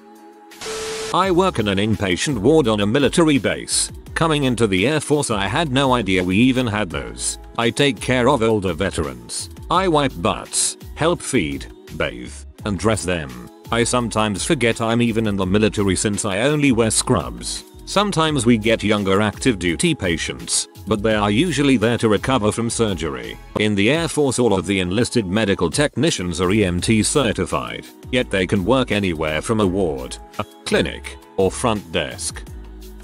Motrin and water cures everything in the US Army. Headache? Drink water take Motrin. Sick? Drink lots of water. Take Motrin. Twisted your ankle? Here's a bunch of Motrin. Now go drink some water. Gunshot wound? Apply Motrin directly to GSW and then pour water on top. Same for the Navy Marines. On the emergency trauma side, tourniquets are a huge no-no for civilians. For medics and corpsmen, a tourniquet is often the very first intervention. Wife was a military clinical doc and is now civilian. In the military, her department had 8 doctors and 2 nurses. Sometimes one of the nurses would be deployed, so there would be one nurse for 8 doctors. In civilian practice, each doctor has their own nurse. In the military, rank was sometimes more important than ability. She had occasions where a high-ranking patient would want someone else to see him, since she was only a captain. Never mind that the colonel he ended up seeing spent most of his time doing administration and saw very few patients. I think the biggest difference is that in military medicine people will come in for the smallest things, stuff that they could handle on their own with just a little common sense. And every time we say something about it, it's always the same response. Why would I pay for it? I'm only an E-nothing. I don't have money to spend on meds. Listen buddy, if you can't buy $4 worth of Dayquil, You seriously need to re-evaluate your budget. We also couldn't just call in sick. We had to go to medical. Army BH provider here. Having worked both in and out of the active duty hospital setting and field environment, and done internships in the civilian world, the biggest difference I'd say is accountability for quality of care. In my opinion, in the civilian world, because of how insurance works, your doctor has financial incentive to want you to like them. You're a consumer. You can, theoretically, take your money elsewhere. In the military, you get what you get. Don't like me? Too bad. File a nice complaint to make yourself feel better. Unless I break the law or provide some type of unethical treatment, neither me nor my civilian counterparts are going anywhere. Other than the fact that I truly give a crap about my patients, I have zero motivation to provide anything outside of the bare minimum of standard of care. I want to do right by you, you're the reason I come to work every day. Your hurt drives me to be better, to do better, and one day, between meeting my army obligations and additional duties, on top of the sheer number of patients I see in a day, and the administrative bulls and sheer amount of time I spend writing an 18 page note in your medical record, I might burn out, and I hope to god that at that moment I have the insight to see that I'm starting to fail you and I do us both a favor and drop my refrad packet. Or maybe I won't notice and I'll become that typical army provider y'all are angry at having to come to see, that pushes pills and says see you next month and you file that ICE complaint that no one will actually give a crap about. I could do whatever was deemed necessary to a military personnel. Civilian side, I had a license, and I could get it revoked fined or possibly even go to prison if I performed an intervention that was not on my license, even if it worked. Also military is HABC. Army medic and now civilian nurse. Scope of practice is a big one. In military medicine for the most part you can do what you know how to do so the scope gets pretty wide if you put work in and learn stuff. In civilian medicine your scope is pretty strictly what your license certifications are. As an army medic I could, and did, do IVs, intubation, NG tubes, push all sorts of IV drugs, etc. In civilian medicine a ton of that is paramedic RN even MD level so you can't touch it unless that's what you are. Mom having me in the Air Force, saluted the doctor, was in the hospital 4 weeks with preeclampsia and still had to get up every day and make her bed. Mean nurses. Mom having my sister after the Air Force. Everything done for her. No making the bed. Nurses were nicer. The only people that do good shoulder instability surgery are military orthopods and sports medicine fellowship trained surgeons. My dad said he went from opening up people in shape to opening up obese people. He said the military was much less work haha. The scope of practice for non-doctor medical folks. As a civilian I am only an EMTB, barely qualified to drive an ambulance. As an army medic I have assisted in chest tube insertion and removal, emergency trauma surgeries. I can carry and administer major narcotics and basically anything that my medical practitioner says I can do. The ability to operate fairly independently in the field is something you won't see as much outside of the military. This probably won't even get seen but from a patient standpoint, one difference I know of firsthand is military docs pick and choose what they want their patients to know. I took my husband to Omaka while he was still active duty because he thought he was having a heart attack. We find out it's a really bad anxiety attack after he gets an EKG and nothing is physically wrong with him. Fast forward 3-4 years and I'm going through his medical documents after he's been discharged because he's now in heart failure and I find the EKG from that visit. Clearly listed is the two heart diseases he's recently been diagnosed with by a civilian doctor. My husband's heart failure and even possibly his open heart surgery could have been avoided if the army docs had told him what was going on and didn't put his body through so much physical and emotion stress that his heart couldn't handle. He's now 100% disabled and doesn't trust doctors at all. I worked labor and delivery early in my Navy corpsman career. Now that I'm out I am no longer in medicine. So this'll be a bit more of what I've heard about the civilian world of labor and delivery. But I've seen posts about people getting charged for skin to skin contact after birth and other ridiculous things. In the Navy as long as everything was okay we encouraged it. I also really focused on getting the dad involved and making it a great experience memory. For example, helping me clean the newborn, getting prints, showing him how to make a newborn burrito, etc. To me it seems that we had a lot more freedom. In the civilian world it seems that there are price tags attached to everything. If you work civilian labor and delivery let me know if I'm wrong. Another thing I've experienced and I imagine is not acceptable in the civilian world is how we get to practice. It wasn't uncommon to find a room full of corpsmen practicing IVs or blood draws randomly. Docs and nurses also let us try things that were probably a bit outside our scope which was always awesome and helped us become more well-rounded.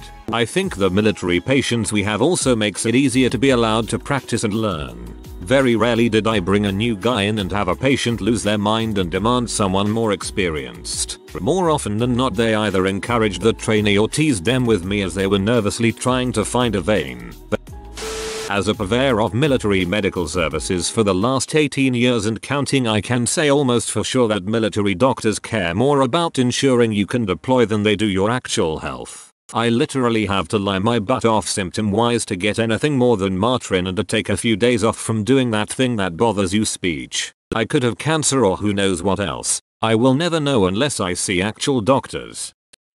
Doctors of Reddit, what is your worst case of I googled my symptoms? I had a grade school kid tell me he had a brain tumor. Turns out he put a dried bean in his ear and forgot about it. This is the best thing I've read on this thread so far. Not a doctor, but I had a co-worker come into the office with this one. He was having nausea, fatigue, frequent urination and decided to WebMD that crap. We're chatting in the office one day and he says something like yeah, I've been feeling like crap lately. And it sounds like gestational diabetes but I can't find any cases of men getting it. I just slowly lowered my head into my hand and asked him do you even know what gestational means he did not. Paramedic student here. Last week we had a call for an imminent delivery. PT started having abdominal pain that would last a little bit and stop, and about 2-3 minutes later would start again. She googled her symptoms and everything she found was saying she was in labor. She called her husband and he told her to call 911. We walked in as the baby was crowning. She had no idea she was pregnant. Not a doctor but when my fiance said he was having chest pains and when he breathed, it crackled. I googled and all of the symptoms led to serious illnesses such a collapsed lung. Thought nothing of it, diagnosed it ourselves as an allergy and didn't go to a doctor till later in the day. It was in fact a fully deflated collapsed lung. Not a doctor but worked at a hospital for a while. One of our doctors came back to the nurse's station laughing because someone was fully convinced they were diabetic because they were craving water and Webb said that makes them diabetic. Turns out they are just human and required to live. People are funny. Just last week a lady came in with shoulder pain. After examining her and comforting her she told me that she was afraid it was cancer since she had been googling. Shoulder pain. Man. WTF Google. Actually I'm a doctor, but this story is from medical school. I had a patient who correctly diagnosed herself with mastitis, although she was very worried that she had inflammatory carcinoma of the breasts. To be fair, they can look similar. Another time, I had a patient correctly diagnose a lump in her breast as a fibroadenoma. I was very impressed. If you are a breast surgeon with that username, my day is made. I'm not a doctor, but I'm a medical assistant and I room patients for the doctor. This is in the occupational health field and we had a young gentleman come in who was pretty sure he had a groin hernia according to his Google search. He said he'd been lifting produce crates and experienced sharp, overwhelming pain in his groin. And the doctor came back out after seeing him and was clearly fighting laughter by the time he got to the desk. Turns out the kid had chlamydia which had caused things to become swollen and just happened to get symptomatic while he was at work. Poor guy. Had a patient come in and tell us she is having vision issues that are new. Okay let's have a look. Oh, looks like you placed a contact over a contact. 27 times. Not a doctor, but in 2013 I was feeling awful, shaking, puking dry heaving, shaking, excruciating and debilitating pain.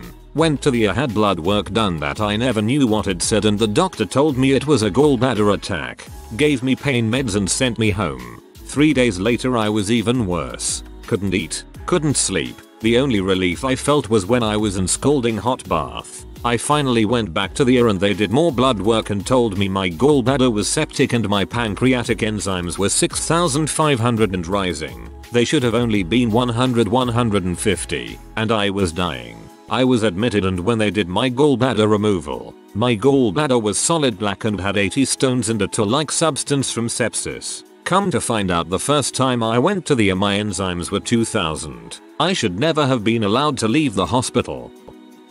My brother is both the doctor and the patient in my story. Around 2 months ago he had started to feel really tired and ill. Like really ill. He had said to his partner that he felt like he had leukemia, which was of course just kind of shrugged off because why how would he have leukemia? He had been suffering with a throat infection for a few weeks and was given antibiotics by a GP at his practice. After a week or so it hadn't helped and he was tired and slightly breathless whilst walking the dog one Sunday afternoon. The next morning he registered himself as a patient and took his own bloods, after being prompted by his receptionist, parents, doctor friend, and sent them for testing. Unfortunately he had been completely correct and when his results returned he saw that he did have leukemia, acute myeloid leukemia to be precise. He saw the results and knew immediately, as he went to confirm them with the GP next door. The specialist hospital had already called and asked for the patient to be brought into hospital immediately. Unfortunately his hemoglobin levels and general cell count were so low and he was in a really bad way. Many transfusions and one round of chemotherapy down and he is determined to beat this horrible disease. There's a long long way to go.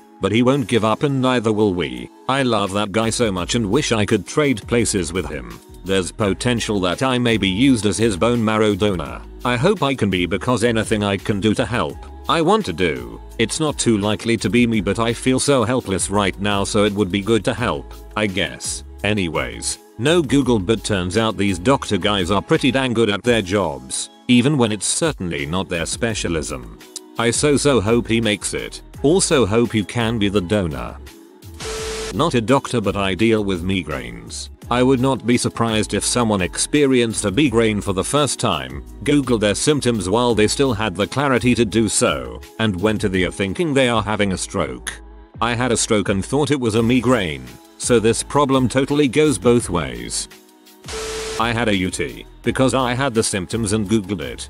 Day of doctor appointment. It was just a regular checkup but I asked for a UT test since I explained how I was feeling. Convo went like this. Could it be possible to request a UT testing? I've been feeling the symptoms of burning when I pee and some discomfort. How do you feel now? Any pain? Well no not at the. Well if you did have a UT the symptoms wouldn't go away you are fine. Two or so days later I get a full blown kidney infection from A. Who would have guessed? A UT. Sent out a complaint. Frick that be doctor. I always ask for a test if I am suspicious of anything and I have them documented if they say no from now on. That was a horrible experience. Edit. I am so sorry so many of you experienced similar stuff. But hey glad we made it. Thanks for the upvotes. I went to a walk-in two weeks ago cause I couldn't get an appointment with my doctor. I said I have a UT they said okay. Pee in this cup. Yup, you have a UT. Take this pill for 5 days and you should be good. I didn't need to plead my case. This confuses the frick out of me. When I go to a doctor they specifically ask if I've done research about whatever. Like they expect it. Awkward position cause if I have researched I feel like an idiot using Dr. Google and having medical student syndrome. If I haven't researched I get the distinct impression nice disappointed the doc. Ever since we studied multiple sclerosis in neuro, I'm convinced I have it, despite my only symptom being paresthesia, funny feels, in my legs at night. If your legs just feel weird word at night and you have literally no other symptom it's more than likely just restless leg syndrome. It can feel like an ache or pins and needles, and makes you feel like you need to move, but moving doesn't actually help. Usually happens at night or early in the morning. It's pretty common. Not a doctor, but my friend once said a guy came with a backache and wanted to get operated cause he thought he had kidney failure. I can't decide if I actually want to know how he got from point A to point B. Edit. I accidentally read headache and now feel like an idiot Tive D. Not a doctor, but throughout my childhood and teen years I had these weird episodes where I would suddenly have really bad deja vu and get very nauseous. For the next few hours afterward I would feel like I was in a fog and my memory would be crap. Eventually I googled my symptoms and learned they might be minor epileptic seizures. I went to a doctor and he laughed it off and told me it was probably just having panic attacks related to the normal emotions of being a teenager. I was so sure he was wrong that I opted to go get an EEG. Turns out I have a mild form of epilepsy and Google was totally right. Sounds like you were returning to last checkpoints to me. Not a doctor, but the brother of the patient, and worst being on the money. My older sister diagnosed herself as having symptoms of systematic heart failure. Her new primary doctor agreed and gave her some basic guidelines of what to do, and had her visit her cardiologist. The cardiologist poo-pooed her, saying there was probably nothing to worry about and scheduled a test in a few days just to be on the safe side. One of the things her primary had her looking out for was sudden weight gain, and when she woke up two days later suddenly 6 pounds heavier. We went straight to the emergency room, who ran tests, including an echocardiogram. Her injection fraction was 12, and they immediately sent her to the biggest hospital in the area, where they ended up saving her life from congestive heart failure. She had had at least two silent heart attacks due to the amount of damage they found. TLDR. I still have my sister because she self-diagnosed correctly. Ejection fraction, rather than injection, as in, how much of the blood is pumped out from a cardiac chamber, atrium or ventricle, but typically ventricle, with each beat, measured in percentage. 12 is bad. I hope your sister's condition is well managed, and good on her for her catch. Not a doctor but I was having horrible debilitating headaches for a while. Googled my symptoms and they ranged from stress to brain cancer. Ended up being sinusitis. I had that. I got horrible headaches and toothaches. I thought something was in my head like a cancer that was pushing on my brain and teeth. Turns out I had stress and vitamin D deficiency.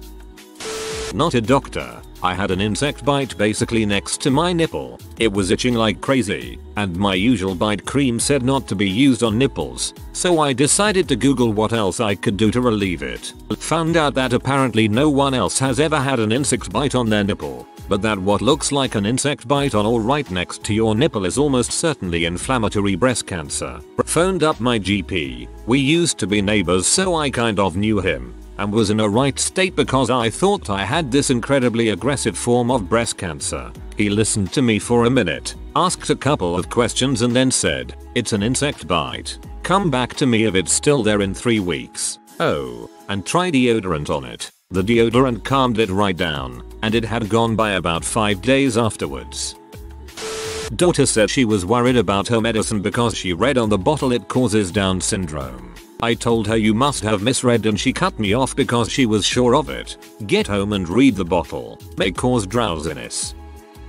Not really related to this topic, but I am a medical student and recently got STI in my eye. STI is usually self-diagnosable but I called up my cousin who is a doctor just to confirm. Anyways, when I was telling this incident to one of my friends, he started scolding me saying as a medical professional, I should set the example of going to the doctor and getting proper medicines and treatment and all I could say was, dude, I'm becoming a doc. I know how doctors are doctors especially when they know you're a medical student tend to overdiagnose or pretend as if we have medical student syndrome. But anyways, got the meds and my eyes healing.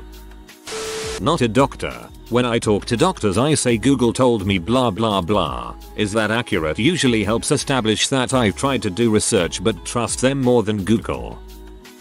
I had two separate doctors tell me that I was having panic attacks, when in fact I was having simple partial seizures caused by a line-sized cancerous tumor in my brain. I got so much Xanax yo. I got so much Xanax yo. You have 239 new messages waiting.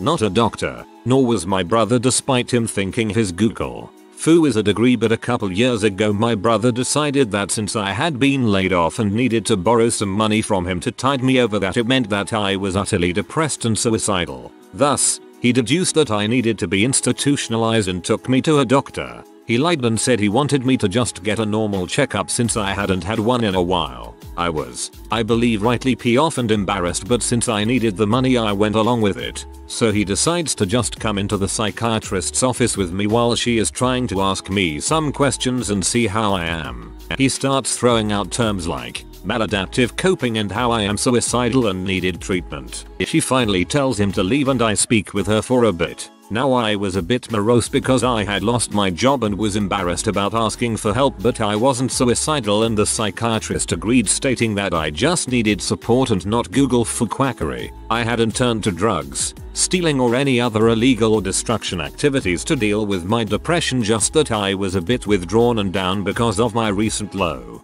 TLDR. Laid off. Needed some financial help.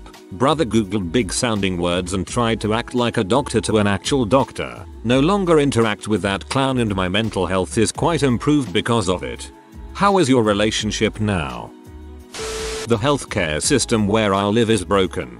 Someone I know didn't have a doctor, had been looking for one for 7 years and started having worrisome symptoms. The errand clinics wouldn't order tests because follow-up appointments would be needed and they didn't do that. She finally went to her and stood her ground, saying she wasn't leaving until they did tests. Google suggested she had a brain tumor or a hyperactive thyroid. They reluctantly did the tests and she had to fight for the follow-up. Turns out it was a thyroid disorder, for which she was in bad need of treatment. Without Google, she didn't have much ammunition for the fight.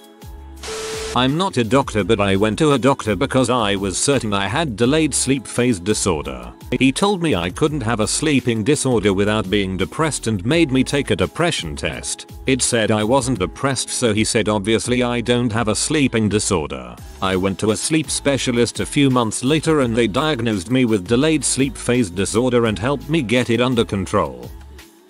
I'm way too late to the game, but mine is funny. Not a doc, but was in a car accident a few years back and while chatting with a paramedic still in my rolled over car I told her that I had sharp pain in my right thigh and couldn't move my right arm or right leg. Assumed I had broken my femur and dislocated my right shoulder. She agreed. Wasn't until they got me into a CT scan that they realized eyeglass had taken a chunk of my right leg out and I had broken my neck in two places and I really had damaged the nerves on the right side of my body. Oops. At the hospital in my town there was a kid who came in saying he had knee pains. The doctor said it was from playing basketball and 5 months later at a different hospital they found that he had knee cancer and it was too late to treat him. He died a few weeks later. Really sad story. I had a friend whose 11 year old kid presented with similar pains in her knees and thighs. The doctor told my friend she was probably overexerting herself at basketball. It was rhabdomyosarcoma. She died a year later. Edited to correct the spelling. Obligatory not a doctor but the patient. Went to the doc several times as a teen complaining of being extremely lethargic. I slept like 13 hours a day. Extremely pale cold all the dang time etc. All classic signs of anemia from what I had looked up. But the doctor said I was overreacting and just being a teenager and refused to even check. Well guess who ends up back at the doctor's like a year later after an emergency blood test showed my hemoglobin was at like 6.2. Just being a teenager my butt. Not a doctor, but once back in 4th grade, during winter break, I had some sort of illness that made me throw up sleepy all the time, and a few other symptoms I can't remember. So I was at my mom's computer, and I decided to google my symptoms since my mom wasn't there. Turns out I had mono, or also referred to as the kissing disease. So after that, I was crying to my mom, hacking my guts out, while my mom tried to calm me down. And to this day, legend has it, I still don't know what I had, and I have never had it again. Obligatory not a doctor. I was the patient. I googled my symptoms of hearing loss, tinnitus, vertigo, eye focus issues and headaches. I was fairly convinced I had an acoustic neuroma, a rare benign, but if not treated potentially life-threatening, tumor on the 8th cranial nerve. The ent was convinced it was sinus related, but sent me for an MRI on the very slight chance there was something else going on. At this point I mentioned that I had read about the aforementioned tumor and she looked to be stifling an eye roll. It's always a brain tumor when we google our symptoms, right? The morning after my MRI I received a call from the ent and she sounded shook. Not only did I have the tumor, it was as big as a golf ball and pushing against my brain stem. I'd say about 3 stroke 4 times a year I get a new, young, male that has googled their symptoms and determined they need a smear test. Yes you read that right. A few men look for advice for their symptoms online and will end up on Mumsnet or the like and see women saying get a smear test, without them actually knowing what it is. I always have to leave the room to excuse myself whilst I have a laugh. A friend of mine when I was younger had been having chronic migraines. The doctors brushed it off telling her to take some pain meds and you'll be fine. Keep in mind she was only in middle school. In the middle of class one day, she collapsed. Aneurysm. Ambulance rushed her to the hospital. Turns out she had a brain tumor the size of a peach. Had chemo, radiation, the works. Finally able to have it removed, so they cut a large part of her skull out to remove the tumor and had to wear a cast helmet for months. Six years later, she's fine now. Took my 92 year old grandma to her because it was Saturday. Told them I suspected UT. Doc didn't listen. Finally she had to go potty and they brought a potty chair in. After she was through the nurse went to empty it. She took one look at how her urine looked and went out and almost made the doc write order for test. Of course it came back as UT. It can be difficult to diagnose a dementia patient because they lose ability to tell doc what's going on. They also become afraid of doctors because they think they will put them in a nursing home or such. A UT can actually exacerbate symptoms of dementia too. Edit. Thought it best to add the source. I'm a clinical support worker and a part of my job involves dipping patients' urine samples for evidence of a UT. I learned the dementia bit from one of our review team. Paramedic here, and the worst instance I can think of was a young, fit woman who decided she was having a stroke after, and openly admitting she had, googling headache. I correctly diagnosed myself with dyshidrotic eczema. The pictures I saw matched the issue I had. Then, I read that there are often chemical triggers. Then, I thought about all of the stuff I had done recently. Then, I remembered the lake in my backyard is full of chemical fertilizer runoff from the surrounding golf course, and I was in it about a week prior. Then, I did it again, because I'm stupid. Then, I got a really bad case of the eczema. Then, I never touched the lake again. The end. My stepfather was working in the garden one day and came inside complaining of feeling hot, tired, nauseous, and his legs hurt. We didn't google his symptoms but assumed he'd had too much sun. He went to bed and woke up several times and his symptoms were no better. My mum called an ambulance when he woke up at 1am vomiting uncontrollably. He was dead less than 5 hours later from septicemia. I think my doctor thinks I'm a bit of a drama queen for googling symptoms and coming in to get stuff checked now, but I'd rather err on the side of caution. Not a doctor, but my girlfriend was feeling a strong sharp pain around her stomach in the middle of the night. I googled it and in my opinion it was a kidney stone or maybe something gynecological related. I wasn't sure of anything but I had acquired enough knowledge to know that it might be bad and we had to do something. So we go to the hospital. We wait hours and hours until we saw a doctor, and she asked her, can you rate your pain in a scale from 1 to 10? She responded 7, and then she looked at her for a second and said while laughing a bit, well, no, your face doesn't look like a 7 and she left. Another doctor concluded it was just a gastroenteritis and give her some paracetamol after we had waited a full night at the hospital and then we left. She was still in a lot of pain, maybe more. At this moment I gave up. In my opinion a gastroenteritis shouldn't cause that much pain but I trusted the doctor diagnosis. Because he is a doctor, and he had years of study and practice behind him. Unlike us. But two days later, she pee a huge kidney stone from her urethra while screaming at the top of her lungs. She had never felt so much pain in her all life. Some say it's more painful than giving birth. We saw a lot of different doctors during the whole night, and no one had listened to my suggestions. So yeah, I get it. There's some annoying patients who wrongly self-diagnose themselves and felt more educated than the doctor they are facing. But on the other side, they also are some crappy doctors who don't listen to their patients when they should. So I can understand that some people prefer to do their own research and doesn't fully trust their doctor.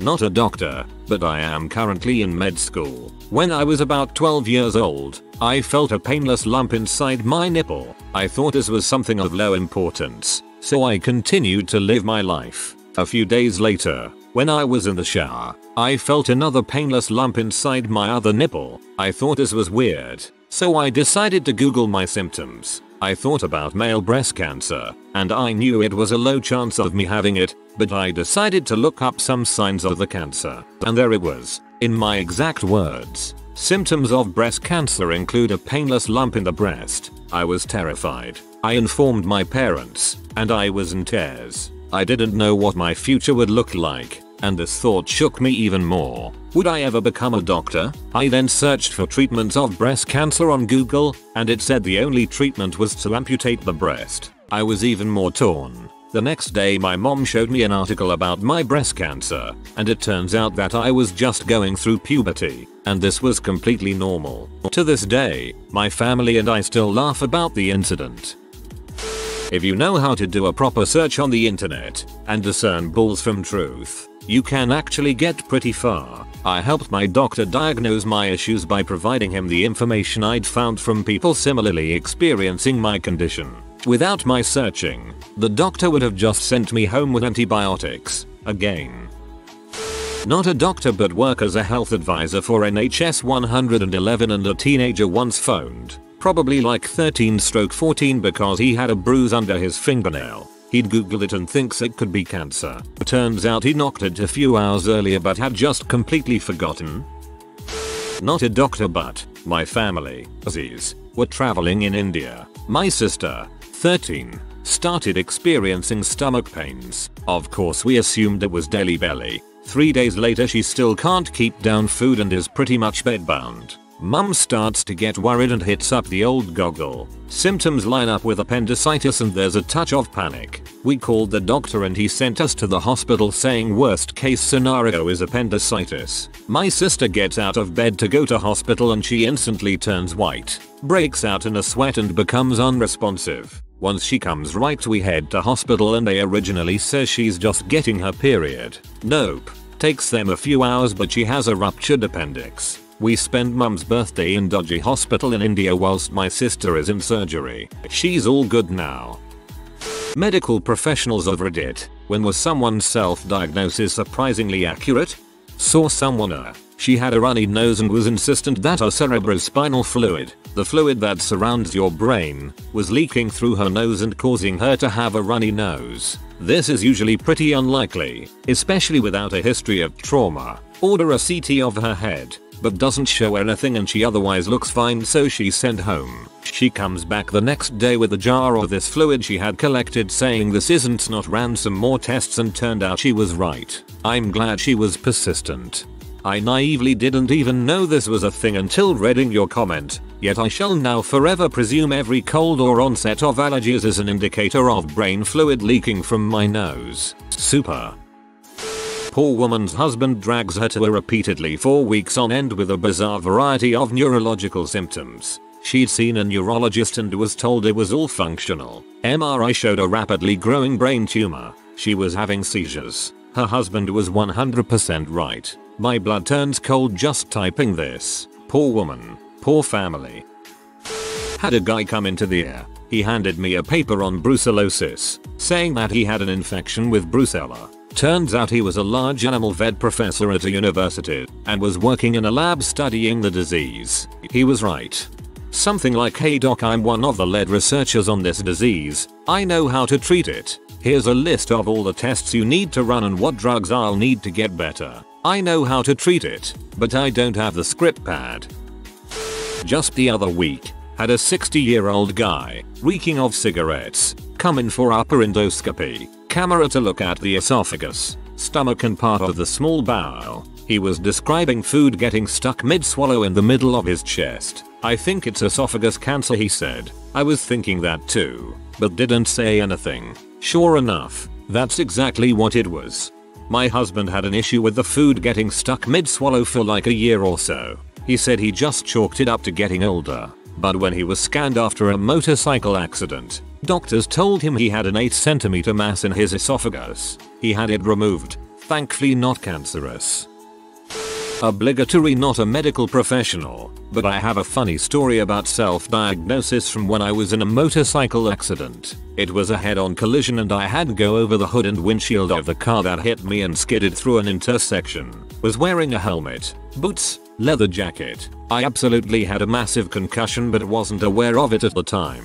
I was not in pain. I felt disoriented and insanely thirsty, but no pain. I sat up and took off my helmet and there was a crowd of bystanders trying to get me to lay down, but I just wanted to go home. The thing is, no matter how many times I tried, I could not actually stand. When the EMTs arrived, I was sitting upright on the ground, and I helpfully informed them that I thought my leg might be broken, because I had tried to stand and found it was not weight bearing. One of the EMTs scoffed and said something like you think or no crap. I very sincerely insisted my leg might be broken, at which point he got serious and asked me if I had actually looked at my leg or not. I hadn't thought to do that. Bear in mind I had one heck of a concussion. I looked down, and there was my bone sticking out from my skin and through the denim of my jeans. There was blood everywhere. Oh, I said. Yes, your leg is definitely broken, said the EMT gently. Well, I said, reasonably, I mean, how do we know yet? I mean, we should probably get an x-ray. Shock is a hell of a drug. When trauma patients say, am I going to die right before they lapse into unconsciousness or get tubed for surgery, they are usually right, and they know it. Hidradenitis suppurativa, recurrent severe skin abscesses, she came in saying that she was worried she had it because she's had some abscesses in her armpit. 9 times out of 10 it's because of shaving with a dirty razor, which is what I told her. I'll be damned if she was right. Ended up having 5 plus abscesses that formed tracts requiring surgery. They recurred a few months later. Sent to dermatology who confirmed the diagnosis. Worked in the O when a lady ran in screaming that her husband was dead in the car. Staff walked out to see. I asked if they should hurry and they said no because people exaggerate those things. Turns out dude was dead. Based on the smell and bloating. Had been for 3 or 4 days. She was a junkie and was living in the car half a days before she noticed he had odd. I mean, technically they still didn't have to hurry. When I worked as a camp counselor, I woke up one morning with severe joint pain.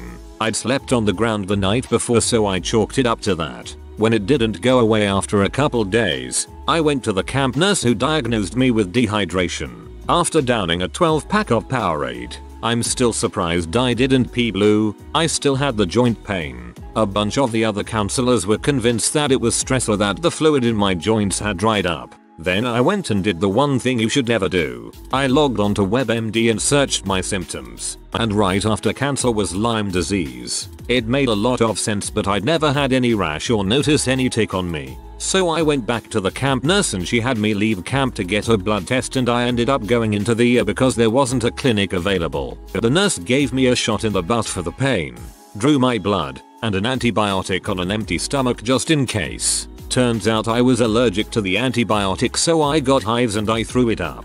I received a call the next day that yes, I did have Lyme disease. Dried up joints, my butt. Disclaimer, I worked part-time in triage at the year, so I'm not sure if you'd call me a professional. That being said, I don't remember a single person who claimed they had a kidney stone who was wrong. The only person I ever had who didn't have a kidney stone and wasn't seeking unfortunately had a ruptured ectopic pregnancy. I diagnosed myself with an adrenal tumor. My primary care doc kept telling me my symptoms were caused by lifestyle choices. I went to my gyn who took me seriously when I showed him my research. It was a cancerous bioactive adrenal tumor the size of a grapefruit. That was over 2 years ago and I'm still fighting this cancer. I developed either recurrence or mets a few months after my initial surgery and I've been dealing with liver and lung mets ever since. I won the argument with my primary care doc but my prize was cancer. Sad trombone.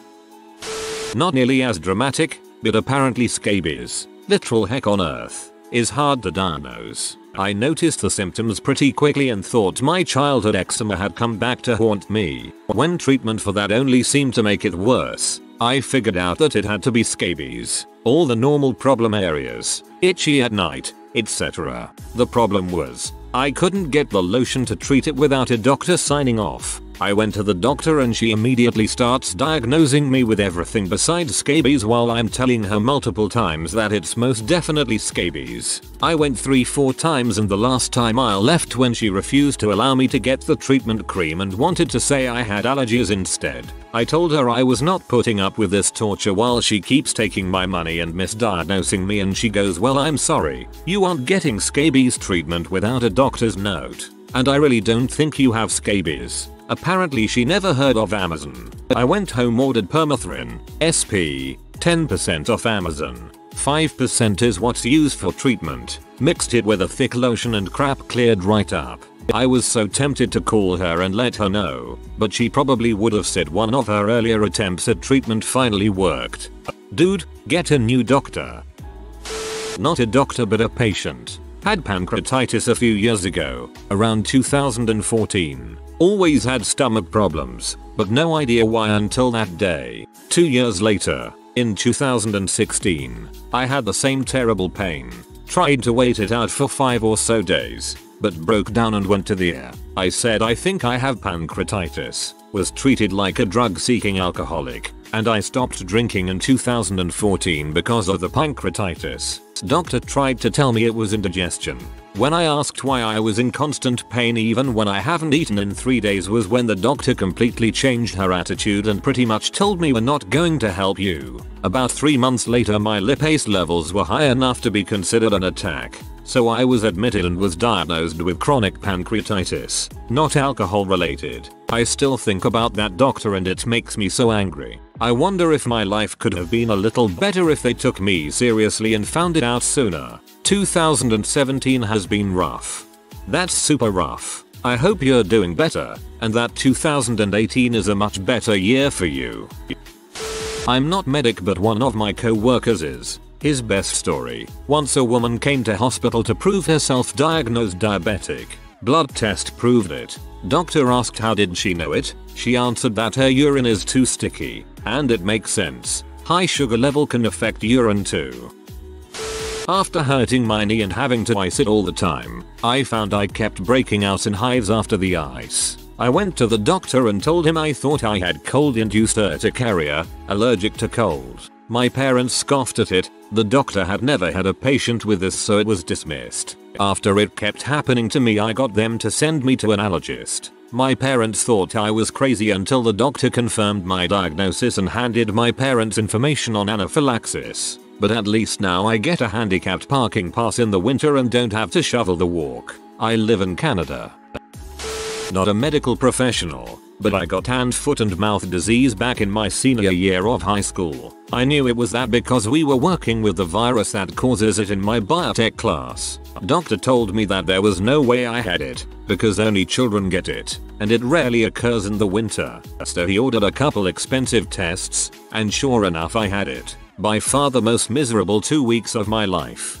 I got it last year. I was 23. Doctors denied my claims too, since it's so rare in adults. They tried telling me I had chickenpox. Number. I was right. HFM. Caught off my kids.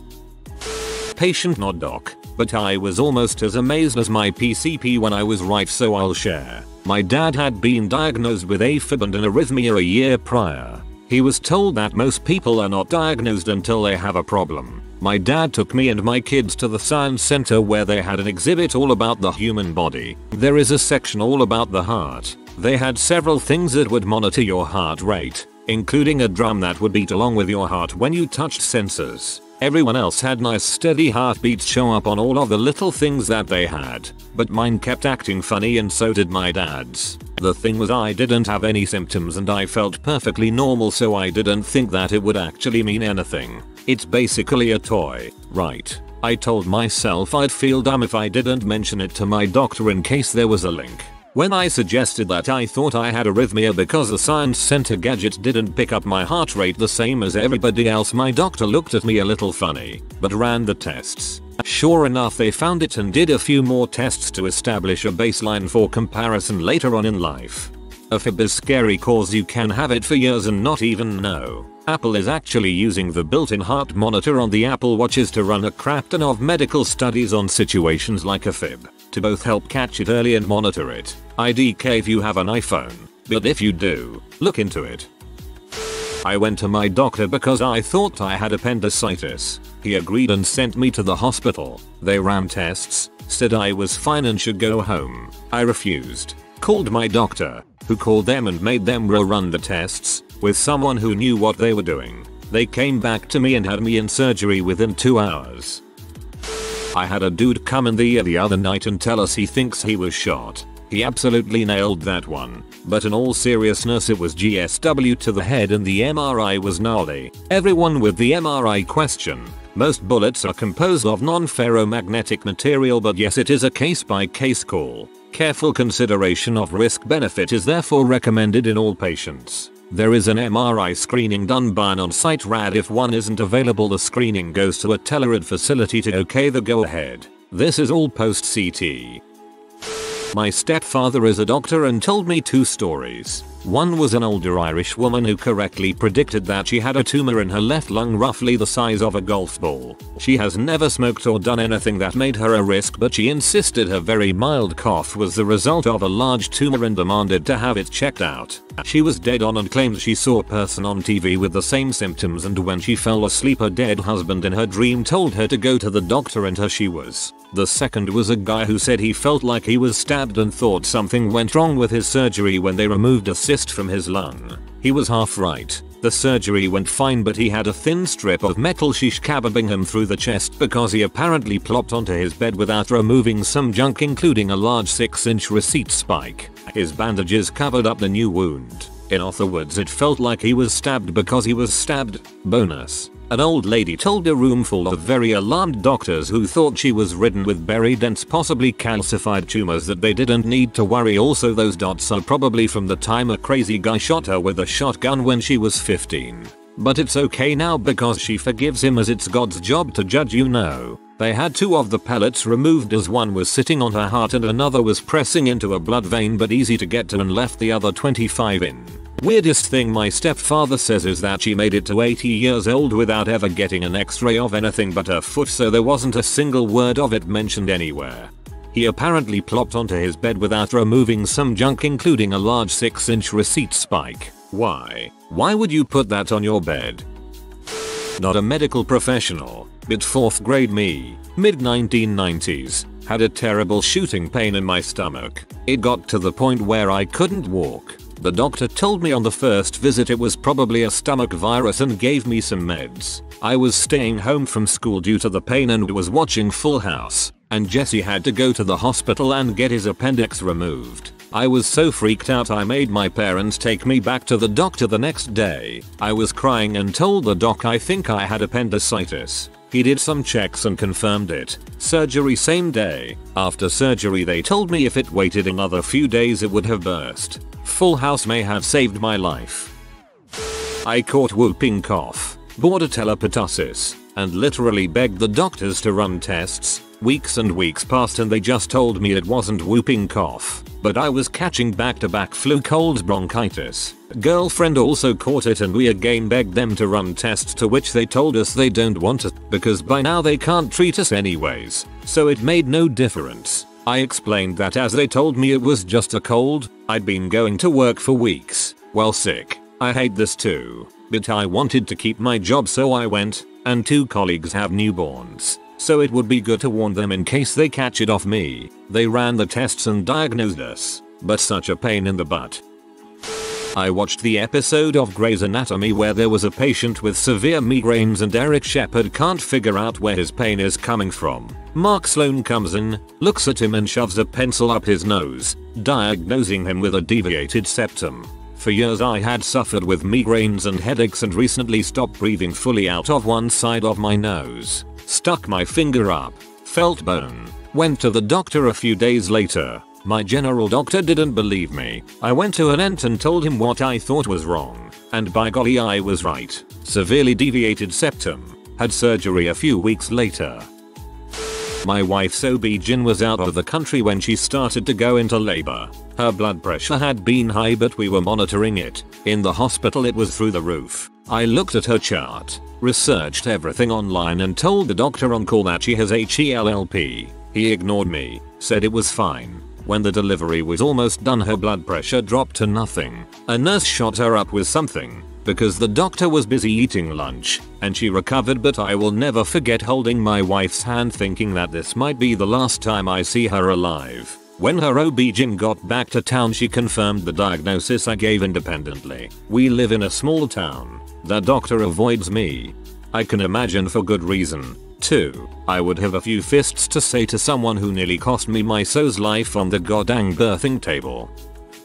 Once while I was working as an EMT, we ran a call for a guy who had gotten S-faced and fell flat on his face on the sidewalk outside his apartment, cutting open his forehead. At the hospital, he was told he would be breathalyzed to obtain a BAC and loudly proclaimed I'm feeling .308. He promptly blew a .308 and the whole team applauded. These are the best kind of drunk people. The ones who know how fricked up they truly are. My gran was having chest pains and thought she was either having a heart attack or indigestion from a pastrami sandwich. So she went to the doctor. While she was there her BP was 210 stroke 90. The doctor said that she was obviously having indigestion and that the pain she was having was gas pockets and prescribed her an antacid and a higher dose blood pressure medication than she was already taking. She took it and her pressure bottomed out. I took her to the hospital and found out she had been having a heart attack for the past two days. She died that night. I'm still bitter 18 years later. The best, worst part is no lawyer would take the case against him because she was old and was going to die sooner anyhow. But that's still medical malpractice. Head desk slang lawyers.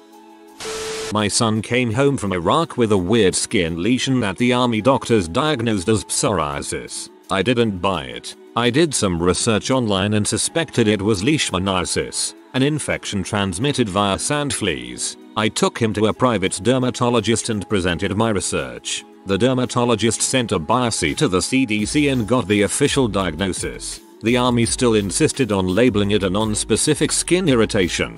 They didn't want to pay for the expensive drug regime. I hired a lawyer. The army gave in and paid for the treatment. Sure, it cost us about the same to push them into it as if we just paid out of pocket, but it was worth it to force them to put the proper diagnosis into my son's records.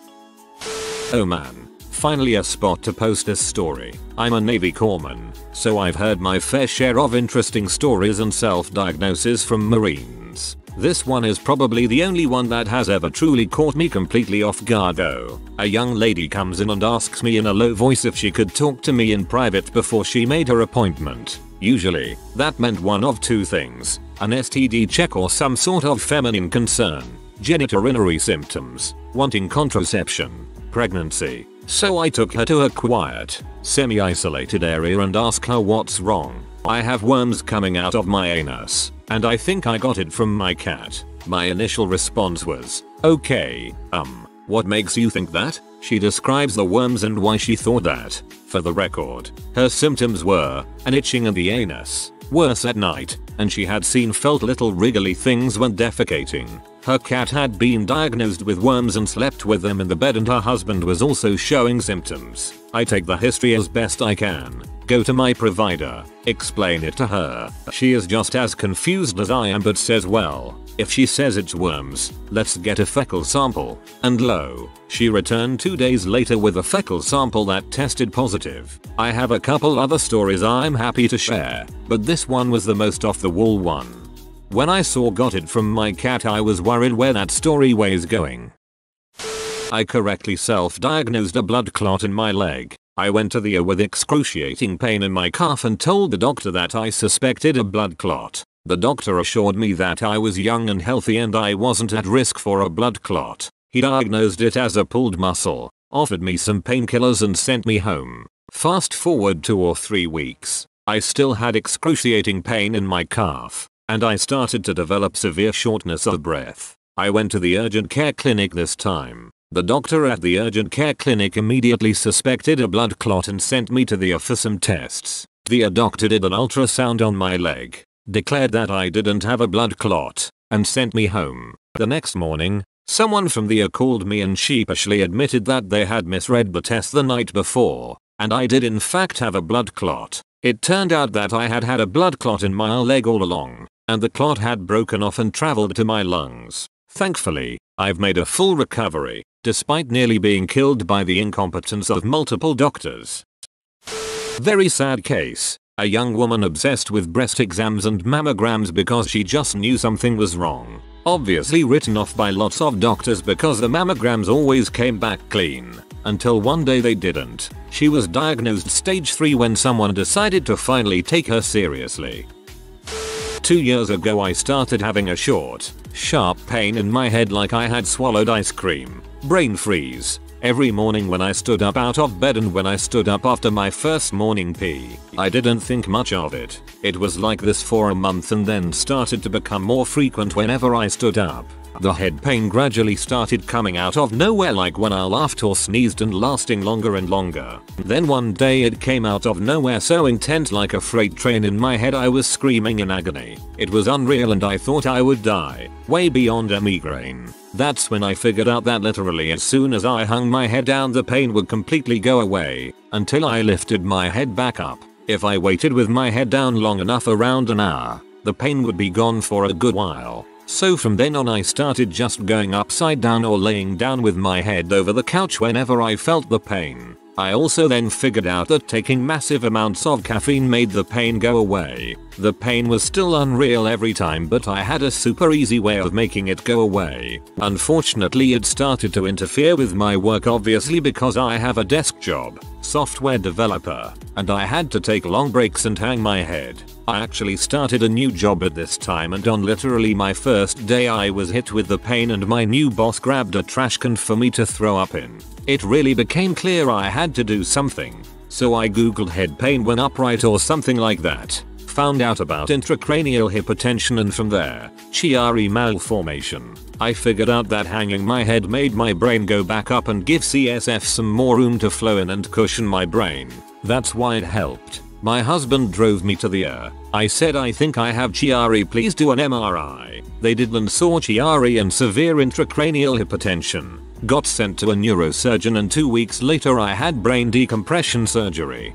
From what I read Chiari usually takes 5 years to be diagnosed. It took a year and a half of recovery before the pain mostly went away but it's all good now. I'm a nurse but these are me as the patient's stories. When I was in high school, I started feeling very run down. It started with a cold, then a bad sore throat. I started sleeping a lot more and didn't eat as much. At that time I was a walking garbage disposal. My dad took me to urgent care. They did the typical strep test which was negative. My dad asked if it could be mono. The doctor laughed it off, said it was an upper respiratory virus. Take some Tylenol for pain and I can can continue my normal routine. Week later, we're back at urgent care as my condition only got worse. I lost 10 pounds and was ridiculously pale for mid-August. My dad demanded a mono test, and guess what? That's what I had. The doctor then changed his tune to I need a lot of sleep and fluids. Frick you, doctor. Humane. Next, my first year as a nurse. I started feeling off, I would forget mid-sentence what I was talking about and entire conversations. I started getting too tired. I was sleeping 16 hours and that didn't feel like enough. I was always freezing cold, aside from the normal Ohio April, and at random intervals. My arms would either get numb or get pins and needle feelings. Got myself a primary care physician. Went to my appointment. I told the woman I'm pretty sure I'm anemic. She argued. Ordered a pregnancy test. Negative. Tried prescribing me antidepressants saying that was the issue. I got pee and demanded blood work to be done. My lab work comes back. Another round of mono. And anemia. The doctor who called to tell me my results apologized profusely and we had a good laugh about maybe that's why I am so tired. TL. DR. Frick Lake Health. I had a patient come in once because he noticed that morning that he was blind in one eye. Yup, easily confirmed. He had lost all sight in one eye, gradually over years likely, and 50% of the vision in the other. First eye examination ever. My wife suspected based on the HCG levels from her tests versus how far along she was in the pregnancy, that she was carrying twins. The doctor thought she just tracked her cycle incorrectly, even said we were having a singleton during the first ultrasound. During the second ultrasound, found the second baby, we're now parents of twins. Nurses and doctors overread it. What is your they never taught this in school moment? This one was fun. Patient Anna gets a standard urine drug screen. Positive for ethanol, alcohol. Patient insists he does not drink alcohol. Test is repeated. Positive. Patient is very upset. He does not drink alcohol. Blood test is drawn. It's negative. We checked everything we could think of. Did we have the right urine? The right blood? It should be impossible to test positive on urine and negative on blood. Meanwhile, I finish his regular urinalysis. High white blood cell count, and really high glucose. Elevated white cells means you need to look at it under the microscope because they probably have an infection. It's loaded with yeast. The man was diabetic, obviously, and had high glucose, sugar, in his urine, along with a yeast infection of the bladder. The yeast was fermenting the glucose to ethanol within his bladder. He was the man who peed beer. So that's how Bud Light got started. I was in my first year out of family practice residency. The specialists like to sneeringly refer to us as jack of all trades master of none. I was on call from the air. Normally unshakable the doc was beside himself. Had a very preterm mom in active labor. And Fog wouldn't let us fly her out. He was the only a doc and the transferring facility wouldn't take her in transport without a physician on board. Probably not legal but we needed her to be at a hospital with a NICU and L&D so they called me. En route I was trying to coach her to breath through the contractions. But she felt something coming out. I looked and saw a foot. So we're in the back of an ambulance delivering a footling breech preemie. We delivered about a minute or two out of the hospital. They were expecting a mom in preterm labor, not a micro preemie. We were met in the ambulance bay by one nurse. She took a look at me holding the baby with a blanket and oxygen and said follow me. We ran through the hospital to L&D and turned on an incubator. PEDS wasn't in house and the baby's heart rate was low. So I proceeded to intubate her. That was 12 years ago. She survived and is doing great. I wrote my program director at 4am that morning when I got back home thanking him for all the training. I think I used 100% of my training that night. I'm in a lot of preemie support groups and this scenario sadly is very common. We need NICU stabilizing capability in every hospital. Mums call an ambulance and the ambulance takes them to a hospital without a NICU and a viable baby dies. All the time for my GF. Walking into a patient's house, home health, and almost being knocked unconscious by the smell of cat pee. The lady housed 25 feral cats but didn't let them outside because she was afraid the coyotes would eat them. Walked into a trailer house connected to a camper only to see the floor start moving. Realized it was cockroaches, not the actual floor. I'm a professional organizer. Same.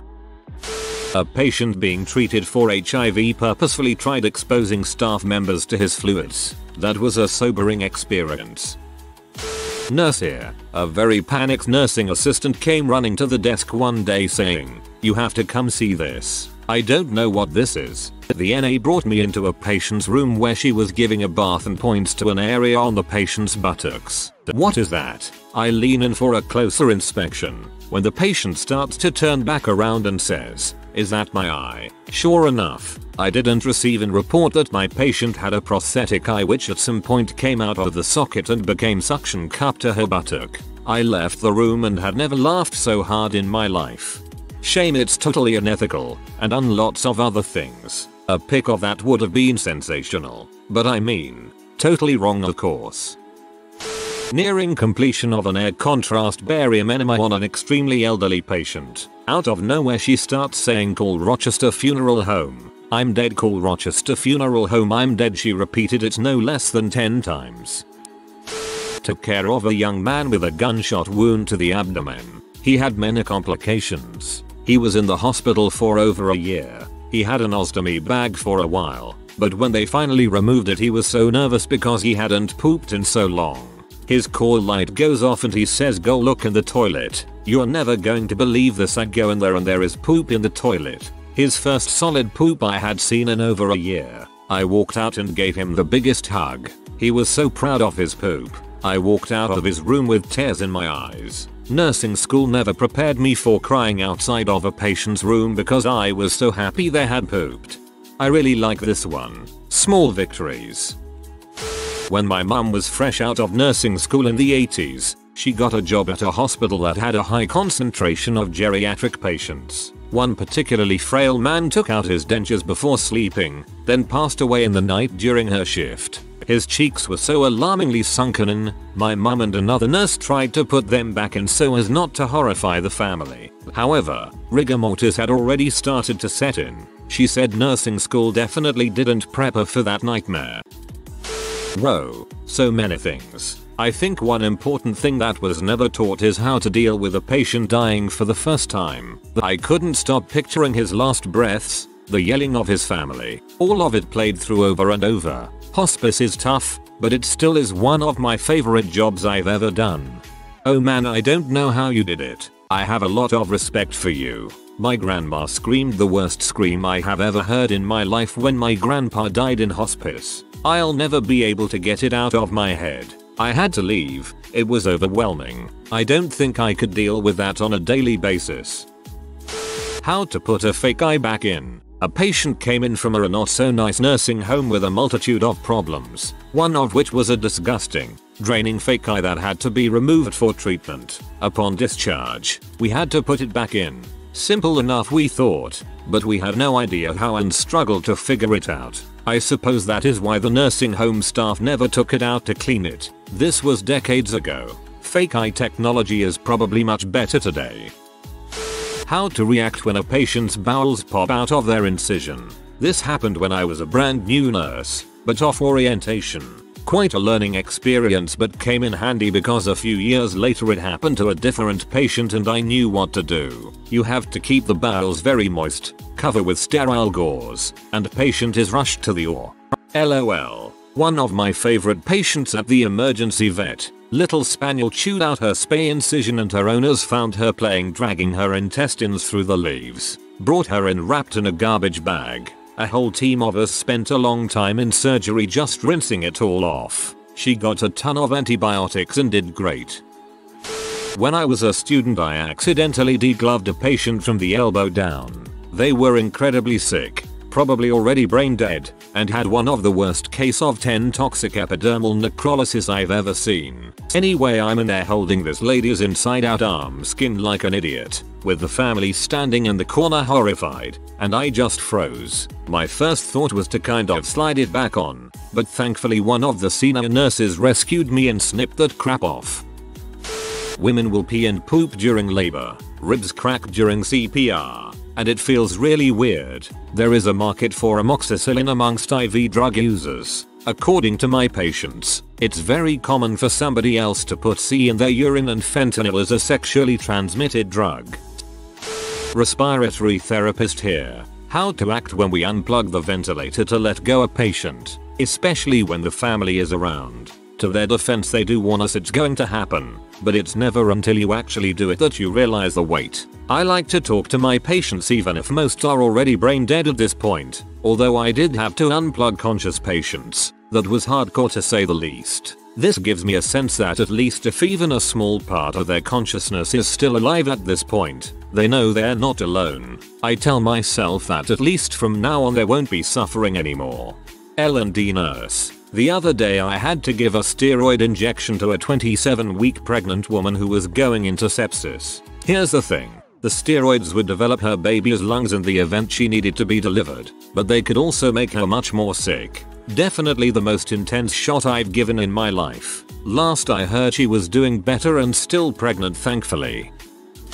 Student nurse here. How to hide looks of shock when something very surprising or awkward occurs. I remember one time a doctor grabbed me when I was in the hall to hold something for him while he was putting a patient's prolapsed rectum back in. Awkward. Digital disimpaction. I can only imagine the partnering instructions for that. No one poop for two weeks then come to class and buckle up. The dead people can still fart. Middle of the night, all alone with the body and you hear that. Scared the heck out of me. I was cleaning a recently deceased client once and her arm twitched whilst she moaned. Frightened the life out of me. They never really tell you how to cope with being berated by family members, patients, and even co-workers. Part of being a nurse means that you realize you are dealing with people at their most vulnerable, at the worst time in their lives, and you know this in the back of your head. But being an emotional, and sometimes physical, punching bag for days at a time requires a certain mental toughness that you can never really prepare for. Had to comment because this is so true and a good explanation of why the burnout rates for nursing medicine is so high. How to sit in bed and hold your patient as she profusely vomits and delivers her 16 week old dead fetus. Yes they teach you that compassion and empathy are the backbone of nursing. But absolutely nothing can prepare you for this type of situation. I heard this story from a SLP. Always keep a clear exit. She was working with a stroke survivor, set her at the workspace, and walked around to the back of the table with her back against the wall and facing the door. Suddenly the little lady says, I know who you are. You're the lady who has been sleeping with my husband. Suddenly this lady has lunged across the table and is legitimately trying to kill the SLP. Luckily lots of other people came when she screamed code blue. She couldn't think of anything else at the moment. But I mean, code blue works even though that really should have been a code gray. All those things you encourage your patients to do, eat well, exercise, get enough sleep, etc. also apply to you. I know too many nurses who don't take care of themselves mentally, physically or emotionally in a very draining environment. Self-care is incredibly important and sometimes we'll lose sight of ourselves in trying to take care of others, but we're of no use to anyone if we're running ourselves ragged. From former boss, how someone looks at you when he tests positive for HIV after his wife died of AIDS because you were her doctor and you treated her for years. You were also his doctor. You knew she hadn't told him and you knew that she was still having unprotected sex with him. WTF. On behalf of my husband, no one tells you how many low income women will go to the ER, complain of abdominal pain, go through an exam and have different tests ordered because they can't afford a home pregnancy test. Not only this, but women who know they're pregnant do this because it's the only way for the health of the baby to be checked. What to say to a family watching you code a patient for 15 minutes and pink frothy sputum is exploding out of their ET tube while you're doing compressions. I was never taught about sundown syndrome until I was working with the elderly in a hospital setting as a student nurse. I had the sweetest elderly patient in my care until about 4pm that day, he suddenly became possessed. He started screaming and hallucinating and was not the man I had been providing care for earlier. I was so befuddled when the nurse I was shadowing told me he had sundowners and explained it to me. Now it's your turn to explain it to us, please. Number 1 most memorable. Cardiac massage for 10 straight minutes while a guy was bleeding to death from multiple gunshot wounds. Had to stick my fist up though someone's left lung to locate the heart and to directly give them CPR. Literally pumping this dude's heart so it can keep circulating blood. Felt like I was doing a fatality move in Mortal Kombat. It was surprisingly small and very squishy. They never teach you to expect the unexpected. I got floated to the ICU on a slow day. They immediately gave me a patient who was violently hemorrhaging out of his mouth while all of family was inside freaking out with me. He died an hour later. Had two different patients come in with thighs big kitchen knives deeply embedded in an eye socket. They were both awake and talking. Enema parties are a thing. Inflatable penis implant surgery is pretty shocking but also amazing. Opening up a tumor cyst to find fully grown teeth and hair inside of it. The day a patient exploded in surgery and it splattered the entire OR team and room with this brown fluid. There's an alarming number of nurses and doctors who don't know what the frick they are doing. I've learned so much more but those are what I can immediately recall. Wait, wait wait, I'm gonna need you to elaborate on the exploding person. So many things here's what I can think of off the top of my head. 1. Sugar is used to put someone's prolapsed rectum back in. Sprinkle it on and let it sit, drawing some of the liquid out of the tissues of the rectum and just kind of push it back in. That was fun on the job training. 2. How to put someone into a body bag with dignity, especially if they're tall and or in an awkward position. 3. Fournier's gangrene. One day I was actually precepting a patient care tech when I was a nurse in the ER and had a patient ask me to help him dress his wound. This was not why he was in the hospital. Thinking this would be a great teaching moment, I called my tech in to learn how to do some wound care. She learned that day how to maintain an excellent poker face. 4. Never block your own exit out of a room with an actively psychotic patient. 5. How to comfort an inconsolable baby using a combination of low shushing in their ear, a somewhat aggressive swaying motion and some humming. 6. How to interact with patients and their family members on, sometimes, the worst days of their life. How to hold someone's hand when they've just gotten terrible news about their own or their loved one's prognosis. How to celebrate the, often few and far between wonderful news we get to tell patients and then how to leave that room where you may have just told a family their loved one is dead.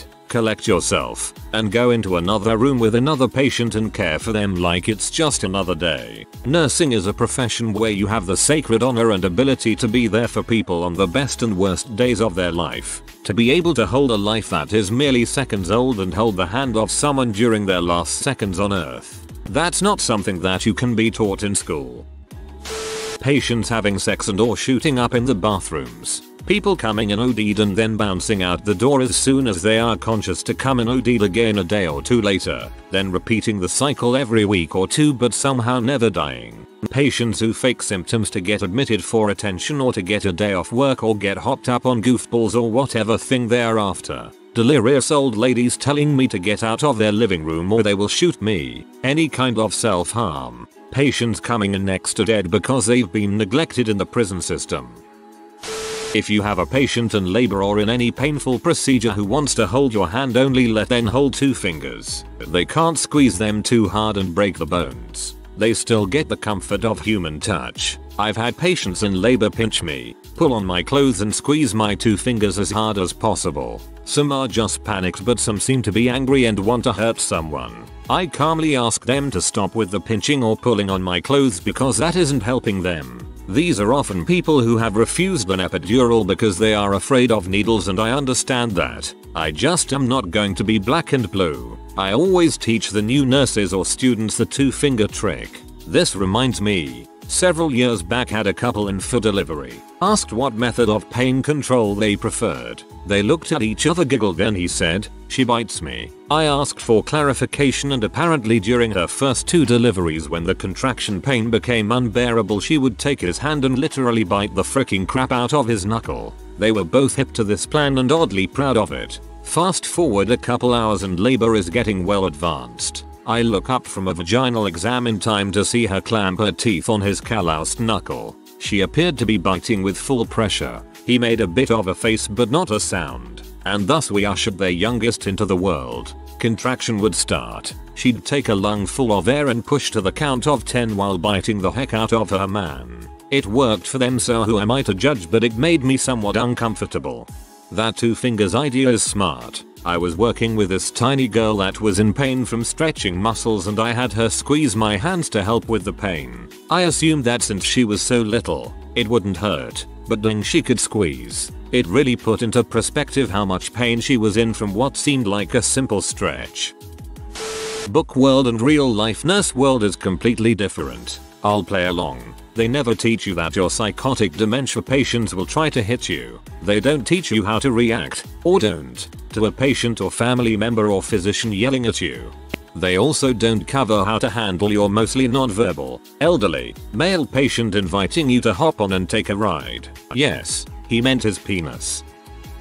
As a sonographer, I have to keep a poker face a lot of times when I am seeing something very alarming or sad on the screen. Luckily, most people have no idea what I am looking at so that's a plus. I'm not allowed to give any results to patients. Doctors deliver the bad news, so I have to stay neutral. It's really hard. Had a patient with horrendous teeth, M user. Couple of teeth fell out during intubation, so they sent him up with M in a denture cup. That was a real awkward conversation when he woke up. Anytime there's something up the butt. That time 100 year old grandma broke her hip falling out of bed, but not her bed. On a more serious note, the your loved one is dead phone calls. This is usually done by the doctors, as I feel it should be, but sometimes nurses do it. RN here. For me, the most surprising thing has been seeing firsthand how peaceful it is for a patient to be able to choose when and how they will die. I was present for the first medical assisted suicide on my unit. The patient had his loved ones surrounding him and we all watched as he said goodbye and shortly after took his last breath. In my area of nursing, patients get better and go home. I always viewed my work as a means to make people better. It has taken me a while to process his decision. It was beautiful and peaceful and really made me look at nursing in a different way. I care for people to help them live, but for this man I was able to support him through death. EMT here, sorry to intrude. They teach you how to handle death. They tell you, you're going to have dead patients. You're going to see the ugly side of death that doctors and nurses don't have to see, because when they get the patient, most of the ugly is handled by you, so we need thick skin. But when you have to hold the hand of a kid less than 10 years old who says I don't want to die and next watch him slide into a no waking up sleep, it's freaking life changing. Frick me, I didn't want to cry tonight. Enough did for today. I hope you're getting therapy or something. That's some heavy crap to carry. Sexually harassed by an elderly patient. The guy is 80 and frail. Was I grossed out? Yes. Was I threatened? Number. But they don't teach us how to respond to impotent harassments from hospitalized patients. Do I get a new doctor for him? What if that doctor is a woman too? Should I put up with it? I treat rude abusive buttholes every day. Why would this be any different? Still trying to figure out what I should do.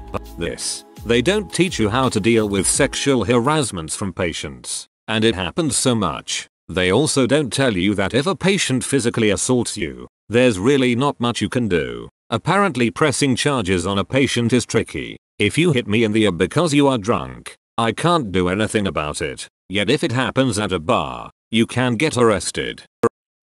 As a nurse's aide we are just supposed to say I'll get the nurse for you when you get a real stumper. But when a dying patient or their family member cries to you they don't want to die, you can't get someone else to help them. You have to find the exact words to find in the middle of serving dinner and 5 call bells ringing off your hip. Probably the hardest situation in palliative work. My mother was a nurse who cared for elderly patients in a very rural part of England. Here's a few her favorite stories. One was a lady who decided to help clean the windows. She used the food from her dinner as soap and napkins. There was a fun mess to clean up. Another was three gentlemen who spent the night calling out for their wives. One was named Edie, one was named Emma, the other was named Elspeth. She said that was one of the longest shifts ever. Finally, she said most of the elderly men were completely clueless when it came to ordering their dinners. They would always say something along the lines of that's my wife's job. She used to just order them the basic meat and 2 veg option and rarely got complaints. Whatever your granddad would like usually was the safest bet. My grandfather was a farmer. They never teach nurses how to express manage expressions in unexpected or poor situations. I personally have no trouble hiding everything, but watching people around me and the people, patients, themselves tend to ask me what's wrong with that nurse doctor. Me being able to keep such a straight relaxed face and expression helps everyone around normally. Being able to explain something bad without a panicked expression is an invaluable skill, which can definitely be learnt taught. Though nothing can prepare you for some situations. I can say I can't remain relaxed with I see a high risk person self remove a trach tube. When your patient has a crap the size and shape of a football stuck in their butt, and you have to use your finger to delicately scoop it out. When the doctor comes along and tells your patient they are dying of cancer, then walks away and leaves you to pick up the pieces. When your patient is 90 years old, has dementia, diabetes, cancer and comes to hospital with pneumonia. They are 30 kilograms soaking wet, nothing but a bag of bones who doesn't recognize themselves in the mirror, yet their family insists they are for CPR. OMG, that last one is the saddest thing. Doctors and nurses of Reddit, what was the craziest example of someone stupidly making their condition worse? Had a patient come in and had accidentally stuck a chainsaw in his leg the day before. He managed to cut the fibula I think and partially cut the tibia. He put some diesel on it and wrapped it in duct tape and kept working. The next day he steps off something and it snaps the rest of the way through. Came in the front door with his leg flopping bending where it shouldn't be. And to top it off he rated his pain at 6 stroke 10. Tough old man. We admitted him to ortho to clean out the diesel and necrotic flesh. The 6 stroke 10 part made me laugh honestly. I can't decide whether to believe him or not. Surgical nurse here. Had a patient return to the OR who had some hardware, plates and screws, put in their elbow for a fracture. The hardware was causing them discomfort so instead of talking to her surgeon they decided to try and remove one of the screws with a knife and screwdriver. I got the case for the wound cleanup and replacement of said exposed screw. One of the strangest ones I've had yet. I saw this young guy in the air once who had gotten into a drunken brawl with some guys at a bar. When he woke up the next morning, he started getting some vision changes. He said that it was like a black sheet coming down on his left eye. This is a textbook symptom for retinal detachment. Picture an incredibly thin, delicate membrane on the back of the eye, slowly peeling off because of trauma. It's an emergency in ophthalmology because if it fully detaches, you get permanent vision loss. You basically need to immediately go for surgical repair and then be extremely careful with that eye for weeks afterward. You even have to keep your head down most of the time for the next couple days to help the reattachment process take. So, naturally this guy goes and rides roller coasters all day at the local theme park with his buddies. He first presented to our two days later with permanent vision loss in that eye. Six Flags was not worth it, poor guy. They should stamp no carnival rides in indelible ink on such a patient's forehead. It should last as long as need be.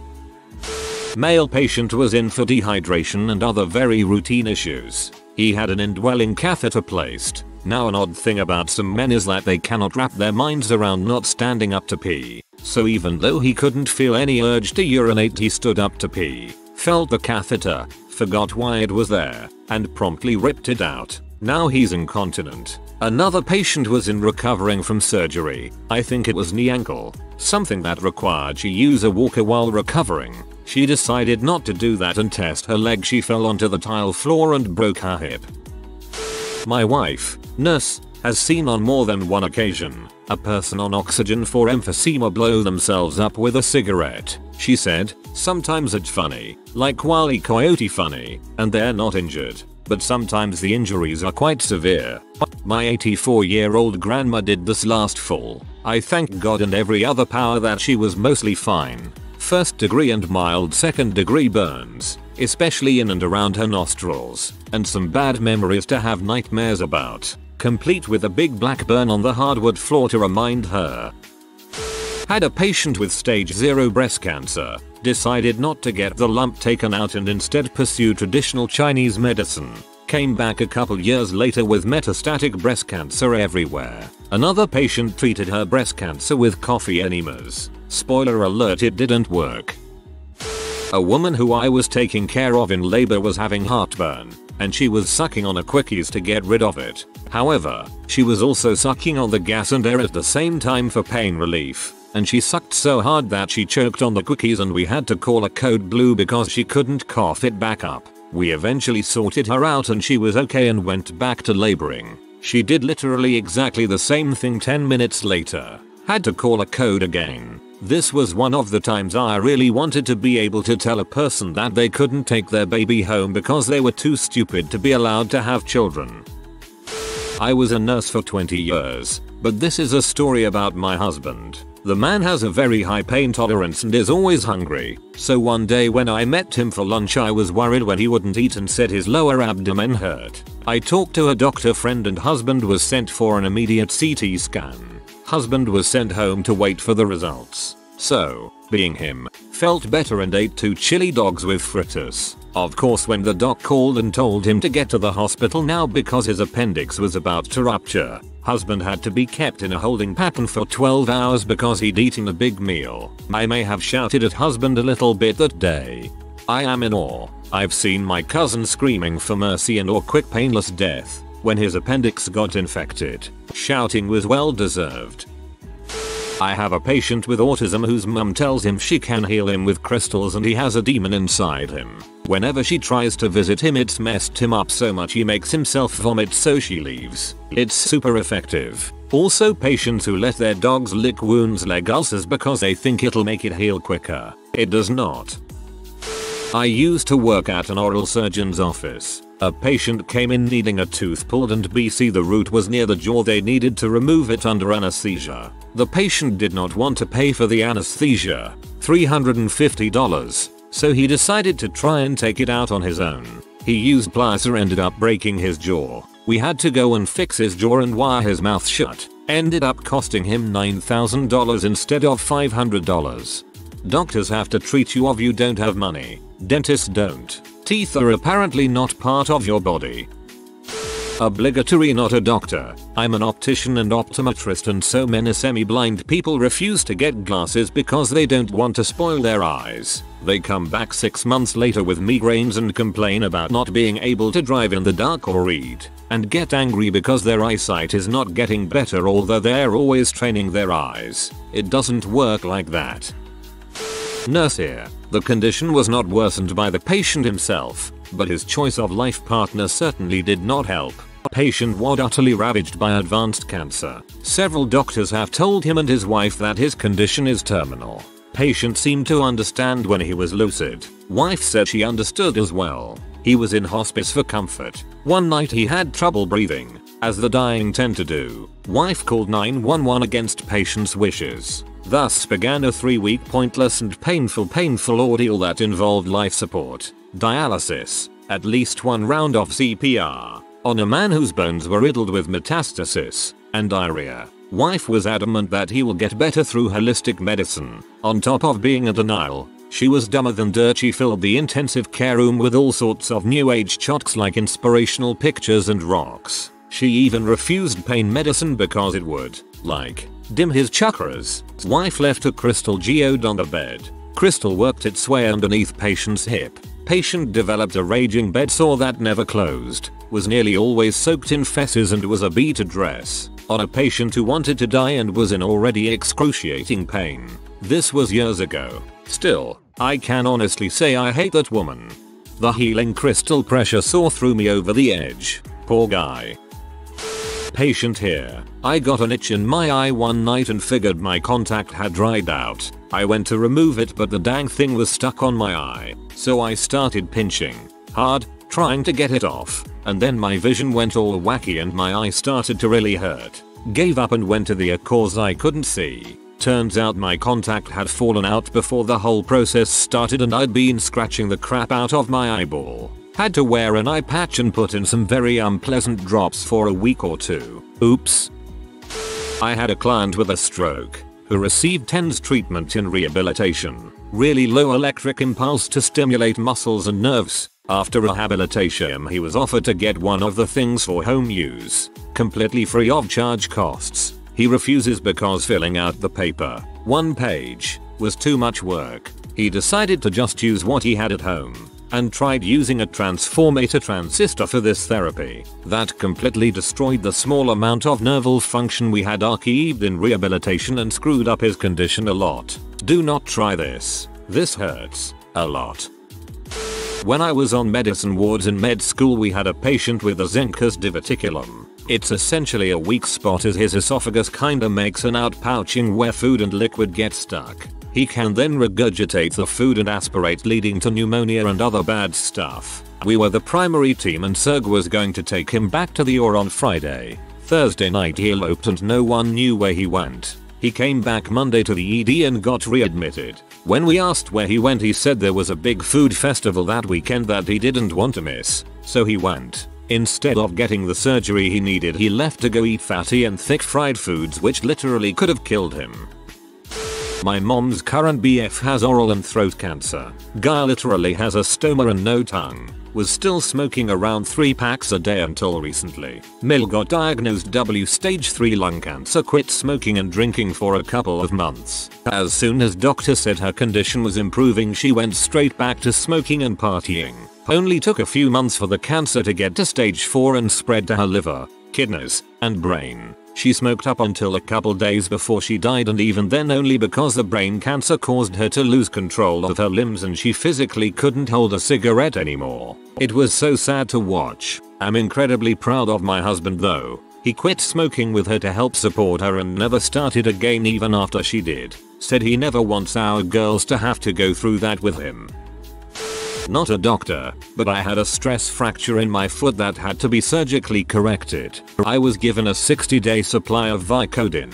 But my now ex-husband was a recovering alcoholic who had me convinced that I was going to become horribly addicted if I took them for more than a couple days. So I began taking Aleve because it was stronger than Tylenol and I only had to take one a day. My foot was very slow to heal. Like a couple months go by instead of the usual 6 weeks. I had to get a CT scan and I was very worried because this small little fracture just wasn't healing. My doctor asked what I was doing for pain, and I told him about the Aleve. Turns out NSAIDs interfere with bone healing. I cut out the Aleve, and my foot healed a few weeks later. Your ex obviously produced a peer-reviewed study researching. Ha ha ha ha ha ha. Work comp adjuster here had a claimant completely disappear after a surgery was ordered. Fast forward 2 years and he gets an attorney who demands the surgery be approved now. After months of back and forth we approve the wrist surgery. Two days post-op the police find him walking down a county road, blasted out of his mind on M, ripping out his stitches. Apparently he went on a rim binge and just tore apart his surgical site. Doctor dropped him, his attorney dropped him, the state basically closed his case. The last I heard was he got out of jail grabbed all his meds from home and disappeared again, but never followed up with the doctor. I cringe to think what his arm looks like. MD, here, had a patient who was found unconscious and taken to our hospital. Turns out he was diabetic, unbeknownst to him, and went into a coma. We got him straightened out and sent him home with insulin. Fast forward a week or two and he comes into the of vomiting, dehydration and blurred vision. He hadn't been taking his insulin since only really sick people need insulin. Well, he's technically right.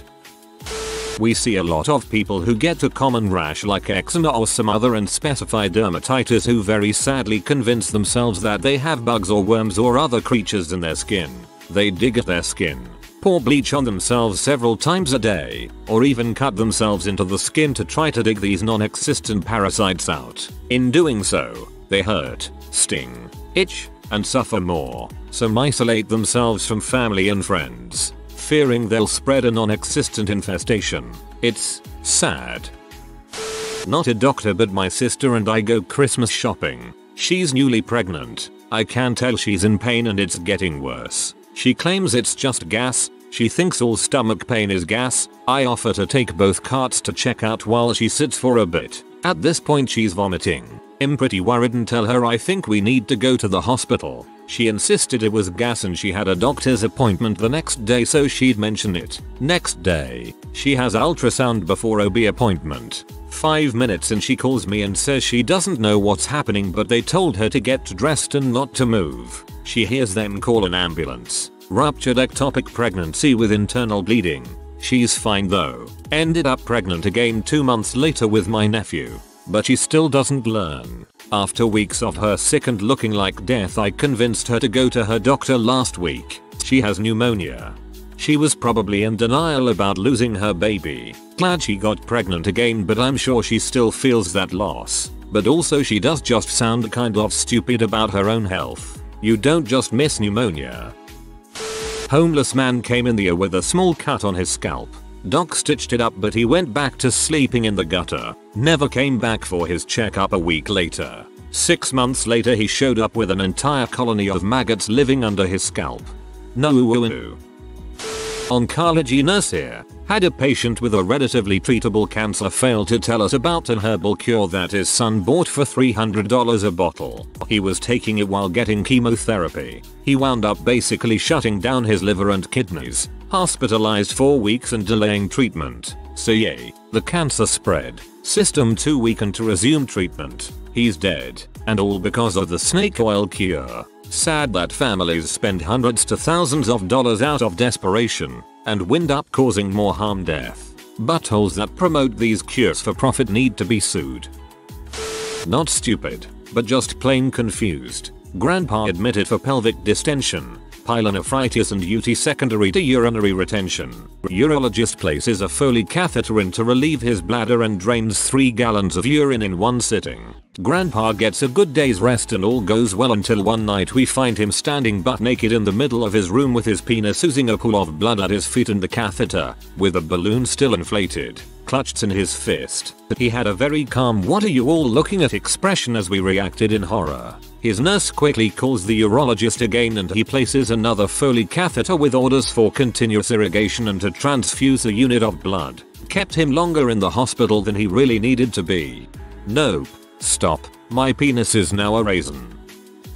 I'm an animal nurse, vet tech, and had a chihuahua come in that had been limping. The owners had been giving him ibuprofen inside of pieces of chocolate. It was certainly a self-inflicted condition.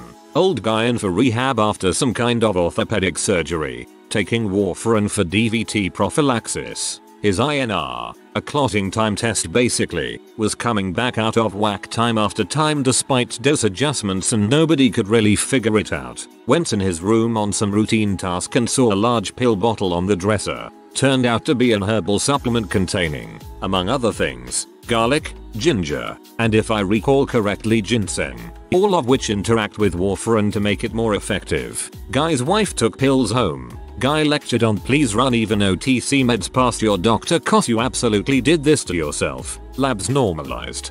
Geez, I have to stay away from herbal teas because of warfarin. What an idiot. Contact lens wearers please do yourself a favor and take out your contacts when you're told to. I had a patient who came in and she thought she scratched her eye taking her contact out. When we looked, she had a gigantic ulcer on her eye. Yes, like a canker sore that you get on your mouth can be on your eye. Ulcers, if deep enough, will eventually scar. Depending on where the ulcer develops, will determine if there is any long-term damage done. I would say if the ulcer was about 0.5 mm to the left, the patient would have lost some of her central vision. She already had 5 ulcer scars in that eye and 8 ulcer scars in the other. This was not her first rodeo. Turns out, she sleeps in her contacts every night and throws them out about once every 3 months to save money. A year supply of her monthly contacts was $120. That one office visit alone was about $100 plus about $200 for a tiny bottle of medication to treat the ulcer, not to mention a copay for her follow-up visits. Of course, she has no backup glasses and obviously can't wear the contacts with an ulcer so she also had to pay to get a quick pair of glasses made. About another $400 setback. Contact lens wear time is not set to make more money for the eye docs. Your eye will literally develop a sore to tell you that it needs to breathe. Please help out your eyes. I don't know how anyone can sleep in their contacts. It feels like when you wake up and your mouth is so dry not even the tears of Jesus would quench your thirst except it's your eyeballs. I had a little old lady come in complaining of coughing up blood. She was spitting up huge clots of blood every few minutes and had pain in her throat. I asked her if she had done anything for the pain. She told me, well I smoked some crack. I asked her if she normally smokes crack. She said, no, I'm a drinker, but I thought it might help. Moral of the story, crack will not help you with anything.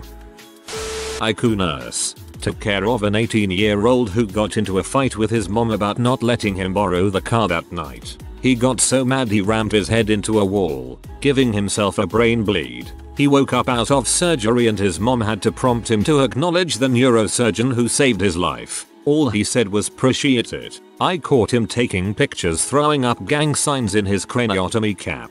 Just so dumb. Not a doctor or nurse, but my sister was diagnosed with acute hemorrhagic pancreatitis when she was 16. Causes crappy genes. She cannot eat anything with fats. When she was discharged after an almost one year stay in the hospital, she sneakily ate a small chunk of fried pork. Goddamn we were immediately thrown back to square one. Thankful that miracles happen twice. Nursing student here. Female patient had an indwelling catheter to help void her urine. She had fluid overload from heart failure. I was at the nursing station giving my co-signed nurse a report when I saw my patient walk up to us and start speaking to us in Greek. It took me about 2 seconds to realize that she didn't have her walker with her. Another 2 seconds to notice she didn't have her catheter with her either. I walked her back to bed and saw the catheter attached to her bedpost with the balloon still fully inflated. I'm going to go wash my brain out with soap now. And maybe sit on an ice pack or two. My bits hurt just reading that. It, you just have to keep reading in order to purge the previous stories that made you recoil. Eventually you'll get to a point where you come to a story that doesn't make you flinch as much as the others. Quit then. Thanks for the checkpoint. I'm getting out of here. Not a doctor or a nurse. Just the niece of a man that, after having a surgery performed on his gut and being told not to eat anything for the next 24 hours, decided to get chili cheese fries at Wendy's on his way home from the hospital. He went right back and his condition worsened. Also, my fiance's mother is a nurse and told us that a man came in once with a tiny garter snake up his urethra. It had been there 4 weeks before he came in because he was too embarrassed to admit he let the snake go exploring on purpose before it got stuck and died inside of him. So he promptly died of septicemia. I have had enough of this thread. I had a patient the other day come in totally altered, with a blood pressure of like 73 stroke 45. Turns out he took his blood pressure at home and seeing that it was elevated, decided to take his blood pressure medications. The thing is, he had never taken these medications before, one being prescribed in 2016 and the other in 2017, by different physicians, who didn't know about the other prescription. After we got his pressure up and he started talking sense he started complaining of a terrible headache. I told him, well yeah you have a headache. You just underperfused your brain for who knows how long. You should be thankful you don't have brain damage. Moral of the story. Always tell your physician all the medications you are prescribed, whether you take them or not. Woman came in the OR to get her foot amputated. She got into the OR and cancelled the procedure because the walls were green. RN. Take my advice. If you are a fragile diabetic with end stage renal disease, don't do C. Just don't. Mid-20s female with a less than stellar outcome. She died. I spent literally years putting her into ICU because of her own crappy decisions. She was a frequent flyer in my ER, so it was only a matter of time until she put herself into a hearse. I mean, I feel doing C is unhealthy regardless of whether you're diabetic or not. But yeah, no, don't do that. He had chest pain. So he took some C. He may or may not have been having a heart attack before he did the coke, but he was definitely having one by the time I saw him. C puts a lot of stress on the heart and can cause heart attacks even in healthy people. This guy ended up okay, but he either gave himself a heart attack, or he turned a small heart attack into a much bigger one. Even when I was in active addiction, I never used C because I heard it could cause your heart to explode. In hindsight it was probably a good thing I never did coke and also got sober because I found out shortly after that I have a congenital heart defect and had spent most of my life in heart failure. I don't consider this all that crazy but it happens a lot so I want to warn people against it. I used to work in the ED and would occasionally see patients who had had a bad fall several days prior and had hit their head. Rather than go to the ED immediately, they usually choose to treat their ensuing headaches with a painkiller. The older generation seem to prefer aspirin. The thing about aspirin is that it is a blood thinner, so what would have potentially been a small concussion was then a life-threatening and often life-altering condition. Don't treat pain with aspirin. Recently had a patient with diabetic neuropathy, numbness tingling pain in your feet because unchecked diabetes ruins your nerves with time. Pour hot honey all over his feet because he thought it would help. He ended up having third degree burns all over his feet requiring multiple skin grafts. Needless to say, he still has neuropathy. If you are new to the channel, you can subscribe. I publish new videos every day.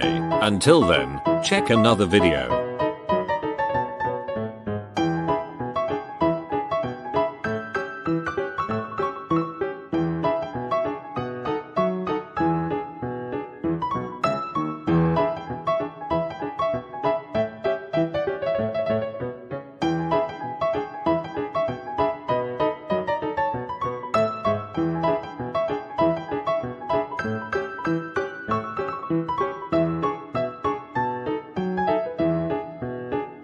Bye for now.